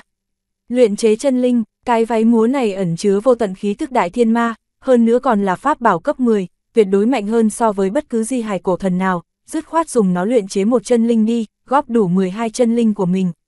Đại thiên ma chính là ma chủ nhất thể phân thân, cường đại vô tận, lợi hại hơn so với bất cứ ma thần nào. Năm đó máu thịt của Phạm Vô Kiếp đã luyện thành tiểu hoa, xem xem pháp bảo cấp 10 này có thể luyện ra cái gì. Nghĩ đến đây, Lạc Ly lập tức đem nó để vào trong tổ chân linh kia, sau đó bắt đầu luyện hóa. Hắn đem cái váy múa cấp 10 này để vào trong đó, nhất thời tổ chân linh kia bắt đầu luyện hóa, nơi đó lại phát ra ánh sáng mạnh cùng uy áp đáng sợ. Đột nhiên, giống như có một cái gì tồn tại, muốn ở trong tổ chân linh kia dẫy thoát ra. Đây là cảnh tượng vô số lần luyện hóa cũng chưa từng xuất hiện, giống như một tồn tại cường đại đang giống giận, rít gào. Thanh âm này, Lạc Ly nghe được, nhất thời sừng sốt, hắn giống như từng nghe, chính là tiếng giống giận dữ của đại thiên ma kia. Tổ chân linh kia lập tức phải bị loại lực lượng cường đại kia làm sụp đổ, nhất thời chân linh bọn tiểu bạch, tiểu thạch xuất hiện, ở trên người bọn họ, đột nhiên xuất hiện từng đạo thần lực. Thần lực kia hạ xuống, có thần lực minh thần, có thần lực tử thần, có thần lực long thần, có thần lực viêm thần, có thần lực mộng thần, có thần lực phu thần, có thần lực của sinh mệnh thần, có thần lực đấu thần, có thần lực của sát lục thần, có thần lực của thời gian thần, có thần lực của không gian thần. Rất nhiều thần lực hạ xuống, tổ chân linh kia nhất thời bị chân áp, bạo động nọ biến mất, tiếp tục luyện hóa. Trong nháy mắt, Lạc Ly đã hiểu, khó trách ma chủ chú ý hắn, khó trách đại thiên ma yêu mến như thế. Thì ra, đều vì giờ khắc này, phía trên váy múa kia, có hạt giống ma thần của đại thiên ma, Tô Thải chân từng bước thành thục cường đại lên, tự tin, kiên định, mạnh mẽ, trở thành ma hậu. Sau đó mặc vào cái váy múa này, nhất thời sẽ thụ thai, sau đó sinh hạ đại thiên ma. Đến đây, đại thiên ma buông xuống trung thiên chủ thế giới, thống lĩnh thiên ma tông, thổi quét thiên địa. Ma kiếp mới bắt đầu, chỉ có pháp bảo cấp 10 này, mới có thể chịu tải ma chủng của đại thiên ma dáng thế, chỉ có ma hậu cường đại tự tin, mới có thể sinh ra đại thiên ma chân chính. Nhưng, người tính không bằng trời tính, Tô Thải chân đã quá tự tin, một lần cũng chưa từng mặc cái váy múa cấp 10 này, chưa dựa vào lực lượng của nó trở thành ma hậu, bởi vì không có lúc nào không cảm nhận được váy múa hấp dẫn, nàng đem bảo bối này cho Lạc Ly, Lạc Ly đã bỏ vào tổ chân linh. Hạt giống đại thiên ma kia vốn nên dáng thế, hoành hành vũ trụ, ở trong tổ chân linh, bị yên lặng luyện hóa. Dưới rất nhiều lực lượng, cuối cùng tổ chân linh kia vẫn không nhúc nhích, dần dần uy lực của ánh sáng mạnh kia tán đi, tổ chân linh mở ra, chỉ thấy bên trong xuất hiện một con dê núi đen. Con dê núi đen đó nhìn chằm chằm Lạc Ly, trong mắt tất cả là phẫn nộ cùng thù hận. Chợt con dê núi đen hướng về Lạc Ly lao vào tới, dùng sừng muốn hút Lạc Ly. Thế này còn không tệ, Tiểu Bạch vồ một cái, lập tức đem hắn vồ ngã, nói Tiểu Sơn Dương, người muốn lật trời hay sao? Chân linh khác cũng vây quanh tới, lập tức đem con dê núi đen này khống chế, con dê núi đen kia vẫn không ngừng dãy ruộng. Lạc Ly tiến lên, dựa theo quy củ cũ, lập tức khế ước, nhất thời dưới khế ước, dê núi đen trở thành chân linh thứ 12 của Lạc Ly. Theo chân linh này thành lập khế ước, vô tận oán khí trên thân con dê núi màu đen kia tiêu tán, nó dần dần biến thành chân linh bình thường, trong mơ hồ như nghe được một tiếng giống lên không cam lòng của đại thiên ma. Sau đó chợt nghe được, oanh, một tiếng, thiên ma tế đàn nọ Lạc Ly xây dựng lập tức sụp đổ, hóa thành ngàn vạn mảnh vỡ, tiêu tán khắp nơi. Đến đây đại thiên ma chặt đứt con đường hiến tế với Lạc Ly, hiến tế này cũng không dùng nữa. Nhưng Lạc Ly cười cười, không để ý. Mình trong lúc vô ý chặt đứt đại thiên ma xâm lược đối với trung thiên chủ thế giới, cái này xem như công đức vô lượng chứ. Nhưng, thiên địa chưa có bất cứ sự đáp lại nào, bởi vì sự xâm lược này còn chưa bắt đầu, thì đã bị tiêu diệt ở trạng thái manh nha. Tất cả cái này đều là vận mệnh, tự có nhân quả. Nháy mắt, hào quang trên thân con dê núi màu đen khẽ chuyển, chân linh từ pháp bảo cấp 10 cùng hạt giống thiên ma hóa sinh này xác định thần tính, vận mệnh chi thần. Vận mệnh thần bí nhất, thần kỳ nhất, khó có thể đoán trước nhất, cường đại nhất. chương 1217, ta có ba phần ruộng, có cái gì không thể. Một, Lạc Ly nhìn nó, nghĩ một chút, nhìn về phía Tiểu Bạch hỏi. Nó nên gọi là gì? Tiểu Bạch nói, còn cần nghĩ sao? Hắc Sơn Dương, Tiểu Hắc đã có rồi, thì là Tiểu Sơn đi. Lạc Ly nói, được rồi, vậy ngươi tên là Tiểu Sơn. Con dê núi nhỏ này cực kỳ không cam lòng, liều mạng dẫy dụa vài cái, nhưng không thể làm gì được tiếp nhận cái tên này. Đến đây 12 chân linh của Lạc Ly xác định toàn bộ. Lạc Ly cao hứng vô cùng, đúng lúc này, cũng một tiếng nổ vang, Thái Sơ Phường thị tiến hóa 10 năm kia, tiến hóa thành công. Thật là song nghỉ lâm môn, lần này trở về, lần trước Mộc Thần nói tạo hóa tông, chân linh phái, vạn tướng tông tiên nguyên truyền thừa của ba tông, tất cả để Lạc Ly cướp lấy. Trong đó phát động một lần chiến tranh tông môn đối với vạn tướng tông, ép vạn tướng tông giao ra tiên nguyên truyền thừa.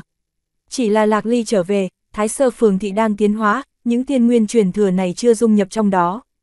Hiện tại Thái Sơ Phường thị tiến hóa xong, Lạc Ly lập tức đem tiên nguyên truyền thừa của ba đại tông môn thay vào trong thái sơ phường thị. Lạc Ly lập tức tiến vào trong thái sơ phường thị, thoạt nhìn, toàn bộ phường thị đã thay đổi, giống như một thành thị, quy hoạch hợp lý, kiến trúc rõ ràng, dần dần hiển lộ ra một loại hào hùng phóng khoáng. Lúc này một thanh âm vang lên, chủ nhân, thái sơ số 9, phục vụ vì ngài. Thái sơ phường thị chính thức tấn thăng thành cảnh giới chợ cấp 8. Diện tích thái sơ phường thị mở rộng, thái sơ phường thị chia làm Nam Bắc đại khu vực, hai khu vực lớn, tự động phục chế một kiến trúc đặc thù, tự động phục chế sinh ra chân linh phục vụ. Đồng thời toàn bộ kiến trúc đặc thù của ngài, toàn bộ tự động tấn thăng một cấp bậc, tấn thăng thành cấp 3. 360 quầy hàng của ngài mở rộng thành 1001 quầy hàng. Phường thị tiến hóa, tấn thăng cảnh giới phường thị cấp 8, lập tức kiến trúc đặc thù đều lên một cấp, có thêm 18 kiến trúc đặc thù, hơn nữa còn tặng không pháp linh. Lạc Ly cao hứng không thôi, nhưng, cửa hàng ban đầu, còn lại 90 gian, hiện tại sinh ra 18 kiến trúc đặc thù, đến đây cửa hàng chỉ còn lại 72 gian. Nhưng quầy hàng mở rộng, biến thành 1000 một cái, vẫn là buôn bán lời. Lạc Ly nghĩ một chút, nói tốt rồi, tuyên truyền với bên ngoài đi, Thái Sơ Phường thì chúng ta bế quan 10 năm, không biết bên ngoài hình thức thế nào rồi. Nhất thời, các pháp linh tiếp khách đền thờ bắt đầu hành động, theo các nàng cố gắng, toàn bộ tồn tại cường đại của mảnh tinh vực này lập tức đã biết Thái Sơ Phường thị khai trương rồi. Thái Sơ Phường thị khai trương trở lại, lập tức vô số cường giả cao hứng không thôi. Mười năm qua bọn họ tuy có thể đến liên minh buôn bán thiên duyên thương hội khác mua bán, nhưng mất đi mới biết quý trọng. Thái Sơ Phường thị này vật phẩm đa dạng, giá rẻ, hàng hóa đầy đủ hết, là thương hội khác không thể so sánh. Lập tức vô số cường giả tập hợp, mọi người đều muốn làm một chuyện, đó là thuê quầy hàng. Chỉ cần thuê được quầy hàng, cho dù không kinh doanh, bán cho người khác, đó cũng là kiếm một khoản lớn. Bọn họ biết, Lạc Ly càng biết, vừa thấy tình thế này, lập tức nói. Tăng giá, lập tức tăng giá, tiền này không kiếm, trời chu đất diệt. Theo những quầy hàng này tăng giá, nhất thời tiếng mắng thành mảng, nhưng tranh đoạt càng hung hăng hơn. Những cường giả kia tụ tập, kho hàng thái sơ phường thị khô quắt kia của Lạc Ly bắt đầu tăng thêm bảo vật. Sau đó phường thị khai trương, khách hàng liên minh buôn bán thiên duyên khác lập tức chen chúc đến, đừng nhìn thái sơ phường thị đóng cửa 10 năm, nhưng làm ăn càng thêm sôi trào hơn. Thái sơ phường thị khai trương, rất nhanh có khách đến, chính là rất nhiều minh hữu liên minh buôn bán thiên duyên, Diêm Na Lâu Thương hội Mạc Nạp Thần Chủ, Kim Khuyết Huyền Đạo Tràng Tử Vi Đạo Tôn, Ma Vương Sa La Mạn của chợ Hỏa Ma La, Bạt Đạt La Quả Phật Đường Nhất Vấn Thiền Sư, Thanh Tinh Quỷ Trai Thanh Quỷ Hoàng. Các lão đại này trong liên minh, tất cả đến đây. Mọi người đến đây, chúc mừng Thái Sơ Phường Thị của Lạc Ly một lần nữa khai trương. Lạc Ly nhìn qua, sửng sốt, phát hiện trong mọi người có thêm hai người, nhưng cũng ít đi một người. Ma Vương Sa La Mạn giới thiệu, Thái Sơ Chi Chủ, vị này là Lâm Kính Tinh Hải Hồng Thông Chi Chủ. Vị này là Mỹ Điều Tinh Hồ Kiên Pháp Vương, đều là gần đây gia nhập liên minh chúng ta. Lạc Ly lập tức chào bọn họ, sau đó hỏi, kỳ quái, ta sao chưa nhìn thấy quân cơ lợi tinh hải nguyên từ Kim Đại Nhân đâu. Lời này vừa nói ra, mọi người liếc nhau, thở dài một tiếng. Diêm Na Lâu Thương hội Mạc Nạp Thần Chủ nói, quân cơ lợi tinh hải đã có chuyện, cao hư thanh minh kim tinh hoàng mất rồi. Năm hoàng tử của hắn, vì ngôi vị hoàng đế, ra tay quá nặng, toàn bộ quân cơ lợi tinh hải đều bị đánh nát rồi, nguyên từ kim xui xẻo, bị giết. Ai, thương hội cũng đã sụp đổ. Ma vương Sa La Mạn nói phải, thoáng cái thương hội sụp đổ, tiêu tán, bao nhiêu năm bồi dưỡng, đến đây hóa thành hư vô. Thương hội quân cơ lợi sụp đổ, nhưng khách nhân của quân cơ lợi tinh hải còn có thể đến thương hội khác của liên minh chúng ta mua bán hàng hóa, nghe những khách nhân quân cơ lợi tinh hải kia nói, toàn bộ tinh hải đều ở trong chiến loạn, một trận chiến này, văn minh của quân cơ lợi tinh hải ít nhất thụt lùi 10 vạn năm. Phải, phải, khách nhân quân cơ lợi tinh hải đó, lúc ban đầu, còn có thể xuất hiện ở thương hội khác, đến thời kỳ sau, hầu như liền không có khách nhân nào của quân cơ lợi tinh hải nữa. Khách nhân ban đầu, đều ở trong kiếp nạn lớn này chết đi, không còn được một phần trăm. Ai, văn minh thụt lùi, thế giới sụp đổ, hạo kiếp. Mọi người nhất thời đều thở dài không thôi, chỉ có bọn họ biết xây dựng một hư không thương hội vất vả. Ma vương Sa La Mạn nhìn Lạc Ly nói, Thái Sơ Chi Chủ, ta có một chuyện, muốn nói với ngài. Lạc Ly trả lời, chuyện gì? Ma vương Sa La Mạn nói, ta muốn đem ruộng tiên ta thuê, chuyển nhượng cho Hồng Thông Chi Chủ cùng Tử Kiên Pháp Phương. Nhất thời Hồng Thông Chi Chủ cùng Tử Kiên Pháp Phương kia, lập tức dùng ánh mắt vô cùng chờ mong nhìn về phía Lạc Ly. Ma vương Sa La Mạn ban đầu thuê ruộng tiên, chính là vì mượn sức hắn, đổi thành hội viên thương hội mới tới, Lạc Ly không có ý kiến, ai bảo hắn là hội trưởng liên minh. Lạc Ly nói, được, không có vấn đề. Lời này vừa nói ra, Hồng Thông Chi chủ cùng tử kiên Pháp Vương kia đều cảm kích không thôi. Lạc Ly nhìn về phía ma vương Sa La Mạn, tò mò hỏi, không biết ma vương các hạ, vì sao không thuê ruộng tiên nữa? Ma vương Sa La Mạn nói, ta muốn, đã đều nhận được rồi. Mặt khác, các vị, ta từ biệt mọi người, 10 năm nữa, ta sẽ rời khỏi thế giới này, hướng tới chân ma giới. Chân ma giới đối với chúng ma mà nói, giống như tiên giới đối với người tu tiên. Lạc Ly nhất thời sửng sốt, nói, người muốn hướng tới chân ma giới. Vậy trợ hỏa ma la của ngươi làm sao bây giờ?